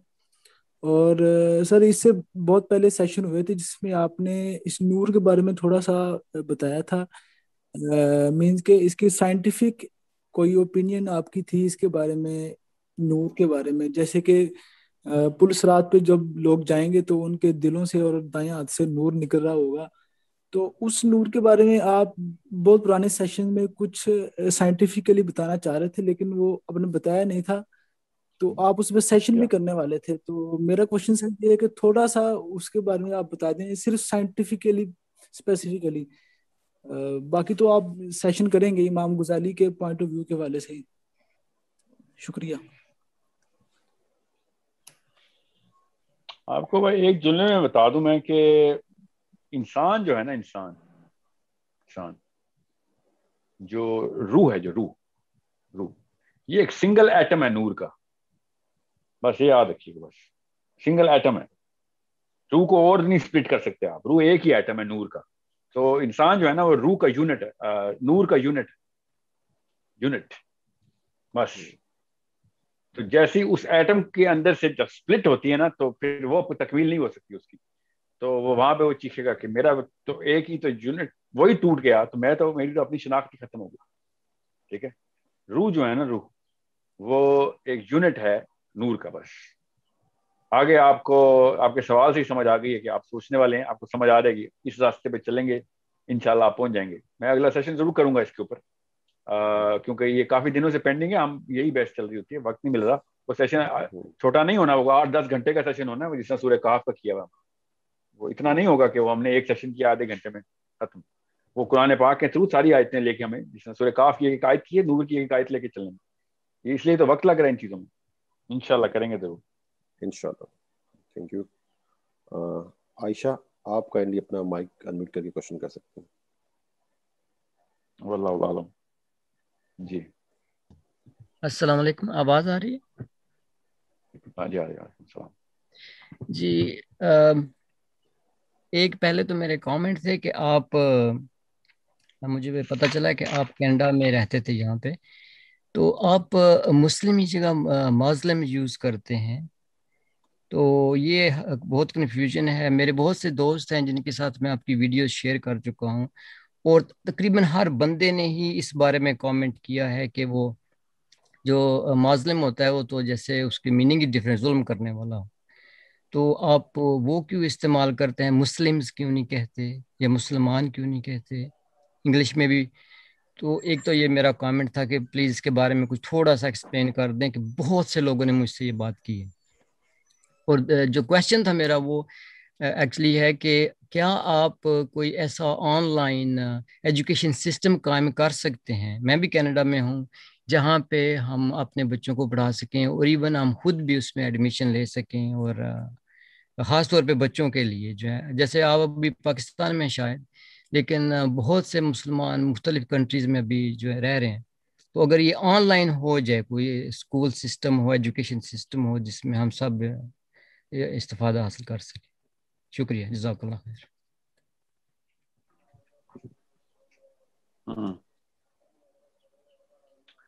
ऑनलाइन एजुकेशन सिस्टम पे थोड़ा सा वक्त लगेगा, वही बना रही कोशिश कर रहे हैं। रोज एक कदम उठा रहे हैं, देखें कब तक बनता है। कोशिश यही है। आ, पिछले साल तक हम स्कूल के बारे में एक स्ट्रक्चर बना चुके हुए थे मगर फिर कोरोना के बाद अब फिर वक्त लगेगा। मगर कोशिश यही है कि अगर काम करना है तो फिर कोई निज़ाम भी होना चाहिए उस काम का जो कि स्कूल का है। तो इनशाला आपको जल्दी कोई खबर आएगी इनशाला दुआ करें कि हम कुछ ना कुछ तो इस बारे में रही बात जो मुस्लिम मुस्लिम जो है ना, मुस्लिम, ये चूँकि मेरी जो स्कूलिंग जो है ना, वो अमेरिका में हुई है तो वो आदतन मुस्लिम जो है ना, वो मेरा एक जो बन गया हुआ लफ्ज। मुस्लिम का मतलब जालिम नहीं होता, मुझ पर जुल्म किया जाए वो मुस्लिमीन है ठीक है? सो हो मगर, खैर, हमसे ज़्यादा कौन मजलूम है? मगर मेरा ये नीयत नहीं होती नाउजुल्ला के मुस्लिमीन बोल रहा हूँ मैं यार। जालिम करने, जुल्म करने वाला या जिस पे जुल्म हो रहा है। ये एक एक्सप्रेशन ऑफ़ माय चाइल्डहुड है, जो कि है मैं माशरे मेरा वहाँ मुस्लिम को मुजलम ही बोलते थे। दैट्स वाई इसका कोई ना ना उठ पटांग कोई मतलब मेरे मुशाहे में है कि जो मुस्लिम क्या के छेड़ते हों मुझे या किसी और मुसलमान को। तो उसको मुस्लिम ही समझें। जहाँ तक मेरी कॉन्शियस कोशिश होगी, इंशाल्लाह इसको दुरुस्त करता हूँ। मैं मुस्लिम बोलें मगर जब एक कोई गैर मुस्लिम बंदा या कोई, खैर गैर मुस्लिम छोड़े, कोई अमेरिकन या कनेडियन या ब्रिटिश या जो अंग्रेज़ी माशरे में रहते जैसे आप हैं, वो जब मुस्लिम सुने तो वो ये मत समझें कि वो कोई बंदा छेड़ आया हमें वो मुस्लिम ही कहना चाह रहे हैं because Muslim is a common use जैसे हम यहूदी को जू बोलते हैं तो जू जो है, वो गलत है जूइश कहना ज़रूरी है। तो जू हम बोल देते हैं जू तो असल में इज़ जूइश ये होना चाहिए। मगर वो बिल्कुल तरह कॉमन फेस बन जाती है। मगर इसके पीछे कोई नाउज बिल्ला कोई ना किसी गैर मुस्लिम की या मुस्लिम की नीयत होती कि जब मैं अंग्रेज़ी के या अपनी असलाह में इस्तेमाल करता हूँ बात जब मैं अरबी की असलाह इस्तेमाल करता हूँ तो कभी नाउजबिल्ला कभी आ, मुस्लिम के अलावा लफ्ज़ नहीं निकलेगा। वो दिमाग की एक सेटिंग होती है ऐसी कि जिसमें उसका एक्सेंट वही वाला बनता है जहाँ से उसने शुरू में सीखा होता है। That's the only reason but दानिस्ता तौर पे कोशिश करता हूँ इंशाल्लाह अगर लोगों को इस बारे में कहीं पे दिक्कत आ रही है समझने बात को तो होपफुली खत्म हो जाएगी इंशाल्लाह। दुरुस्तगी का शुक्रिया इसी तरह की दुरुस्तगी ज़रूरी है जो हर वक्त करते रहा ओके जजाकल्लाह। अच्छा अभी हम लास्ट क्वेश्चन लेंगे जो ऑनलाइन स्कूल है इसके लिए कोशिश कोशिश कर रहे हैं इंशाल्लाह कोई वक्त नहीं बता सकता मैं आपको। ऑलराइट अच्छा अभी this is going to be the last question इसके बाद एक बड़ा इंपॉर्टेंट कमेंट है which is related to the topic we which we were having tonight वो उस पे डिस्कशन मैं चाहूँगा आप कर लें। टॉपिक पे तो क्वेश्चन हुआ ही नहीं आज। नहीं नहीं एक है क्वेश्चन ब्रदर बस एक इंटरेस्टिंग कमेंट आया हुआ है so I want to ask that after this question Aisharam, you can unmute your mic and ask the question. अस्सलाम वालेकुम सर। वालेकुम सलाम। हाँ सर मैंने क्वेश्चन लास्ट टाइम भी किया था। एक वही फिलोसफी ऑफ़ एजुकेशन तो तब मैंने यही पूछा था आपसे कि फिलोसफी ऑफ़ रिलीजन और फिलोसफी ऑफ़ एजुकेशन इन दोनों को कंबाइन करके क्या मैं कर सकती हूँ? तो आपने बताया था कि काफ़ी ग्रे हो जाएगा। तो फिर फिलोसफी ऑफ़ एजुकेशन में से मैं क्या चीज़ करूँ? आप मुझे सजेस्ट कर देंगे? और इसके अलावा बुक ऑफ़ इनो वो कौन सी बुक हम लोग कंसल्ट करें? क्योंकि मैंने गूगल किया था तो वहाँ पे बहुत सारे ऑप्शन आ रहे थे मुझे समझ नहीं आ रही थी कि उनमें से कौन सी यूज़ करें। और इसके अलावा भी एक और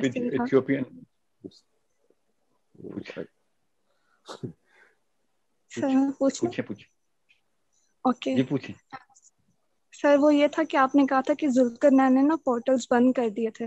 तो हमें जो स्टोरी मिलती है एक सहाबी जाके मिले थे दजाल से। तो दजाल तो टाइम ट्रेवल करके आया हुआ था लेकिन फिर वो सहाबी कैसे गए थे? अगर सारे के सारे पोर्टल्स जुल्कर ने बंद कर दिए हुए थे तो। दजाल का पोर्टल तो नहीं बंद किया ना जुल्कर ने?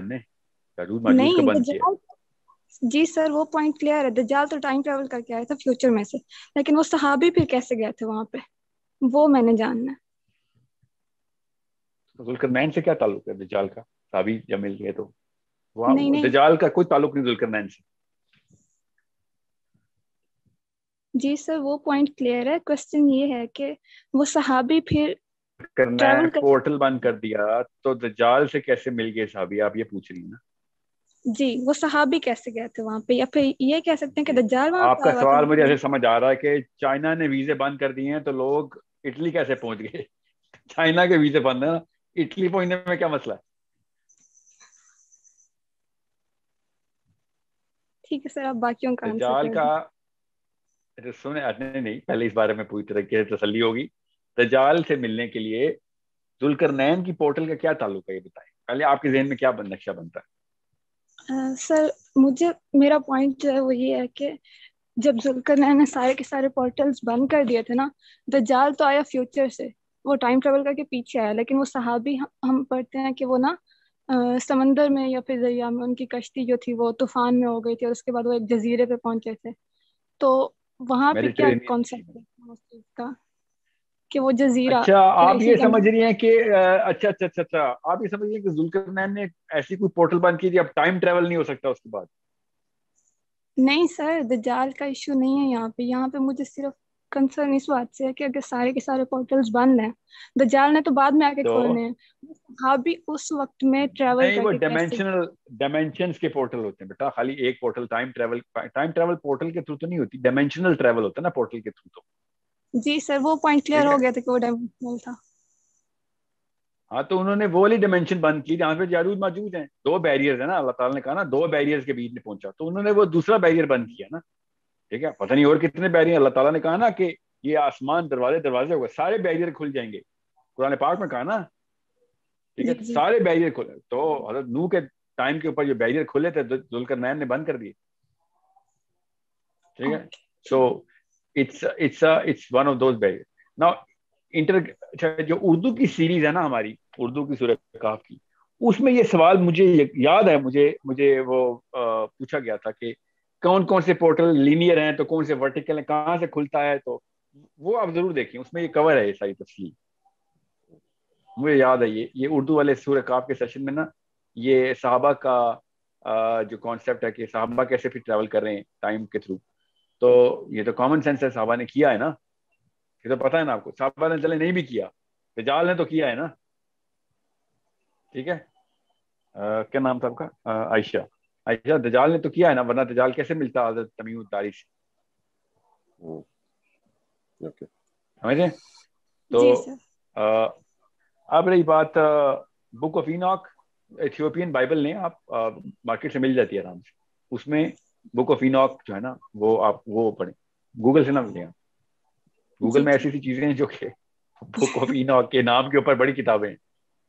ठीक है? इथियोपियन बाइबल ने Ethiopian are the Christians who are like Houthis और पहले तशई।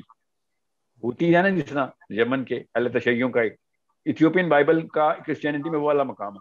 उन्होंने काफ़ी चीज़ें जो है ना वो कांस्टेंट की हुई हैं यूनिवर्सल लेवल के ऊपर। वो ज़रूर पढ़े आप। ओके ओके जजाकल्ला I think we are done with the questions for this session मैं कमेंट पे चाह रहा हूँ कि आप काइंडली इस पे बता दें। आ जाए आ जाए आ जाए क्या? There there is a huge difference between कता तालुकी एंड कता रहमी वी हैव हदीस अबाउट कता रहमी but where have you deduced we cannot do kata taluki with people who are constantly hurting us or betraying us? कता तालुकी और कता रहमी कता रहमी का कोई अरबी का सीखा ही नहीं बनता सिला रहमी है ठीक है? कता रहमी नहीं हो सकता। सो so, रहम के ऊपर तो कहीं पे कोई रोक टोक है ही नहीं। रहम तो आपने रखना है हर वक्त रहम का सीखा। अल्लाह ने अंदर डाल दिया है अल्लाह ताला ने कहा प्रैक्टिस करते रहो। तो कुफार के ऊपर रहम की डायरेक्ट हदीसें बता दूँ आपको। कम अज कम पचास जेन में आ रही है मेरे ऐसे ऐसे घूम रही है ऐसे ऐसे मौके पे गजबात के दौरान रहम आया साहबा को। कुफार में भी बहरहाल that's not the point which you saying अल्लाह ताला के नबी वसल्लम की हदीस तो मुस्तनद है। एक नहीं है, काफ़ी है। तीन दिन तक एक मुसलमान भाई दूसरे मुसलमान से ताल्लुकी की, रहमी नहीं है उसमें, ताल्लुकी है। ताल्लुक तोड़ा, बातचीत ना की आपस में। ठीक है तो ये हदीस उसके ऊपर है। उम्मत टूट नहीं सकती। आपने कहा से सोच लिया कि उम्मत कैसे कहीं से बीच में से टूटे हुए निकलेंगे? दरार आ जाएगी अगर दो भाई आपस में इन इखवातुन कहानी खत्म बस अल्लाह का कह दिया अल्लाह ने कह दिया कि भाई दो भाई आपस में नहीं जितना मर्ज़ी ठीक है तश्न तश्न की आ जाती है बस तीन दिन का आपको टाइम दे दिया तीन दिन बाय द वे तीन दिन के पीछे भी साइंस है मैंने जान के नहीं खोली आज ये सोग भी तीन दिन का अलाव है ना इसके पीछे भी साइंस है केमिस्ट्री है इसके पीछे ह्यूमन केमिस्ट्री के केमिकल वापस डायलेट हो जाते हैं और रिटार्ड हो जाते हैं बस जो होना था हो गया बस केमिस्ट्री वापस करो एक दूसरे को तीन दिन से ज़्यादा अपने आप को उस स्टेट में मत रखें कता रहमी सॉरी दिस इज़ कता रहमी हो ही नहीं सकती, अल्लाह ने बनाया हुआ वो। वो मसला ही, वो हमारे अंदर रहम का जो केमिकल है, वो हमारे अंदर है, वो कता कैसे मुन कता कैसे करें उसको अपने आप से? वो मेरे अंदर है। सर्जरी करवाऊँगा निकलवाऊँगा ऑक्सीटोसिन का ओ एक्स टी आर का सेंटर मेरे दिमाग के अंदर। जहन का सारा का सारा सोच का दारो दारोमदार उस O X T R centre के साथ। एक ही सेंटर रैम का हमारे अंदर। सेंटर ऑफ़ द ब्रेन में लिम्बिक सिस्टम में ओ एक्स टी आर कहते हैं। ओके जी जजाकल्ला खैर आई थिंक काफ़ी टाइम हो गया and we have had a lot of question this time तो जिनके क्वेश्चन रह गए हैं जिन्होंने इस टाइम हैंड रेज किया था I will try to make sure कि नेक्स्ट टाइम हम आप क्वेश्चन में जजाकल्ला खैर साहिब भाई for such a knowledgeable session इंशाल्लाह आप सबसे मुलाकात होगी। इनशाला जाते जाते बस एक जुमला मैं बोल दूँ कि अल्लाह ताला के लिए आपने ताल्लुक बनाना है। इंसानों के लिए नहीं ताल्लुक बनाना बनाना। इंसानों के लिए ताल्लुक बनाना पड़ता तो फिर तो हो गया था काम हमारा। अल्लाह का हुक्म है इसलिए लोगों को माफ़ करें। बस बस। काफ़ी है हमारे लिए। वरना क्या माफ़ किया आपने? ओके। सर। अस्सलाम वालेकुम। वालेकुम अस्सलाम।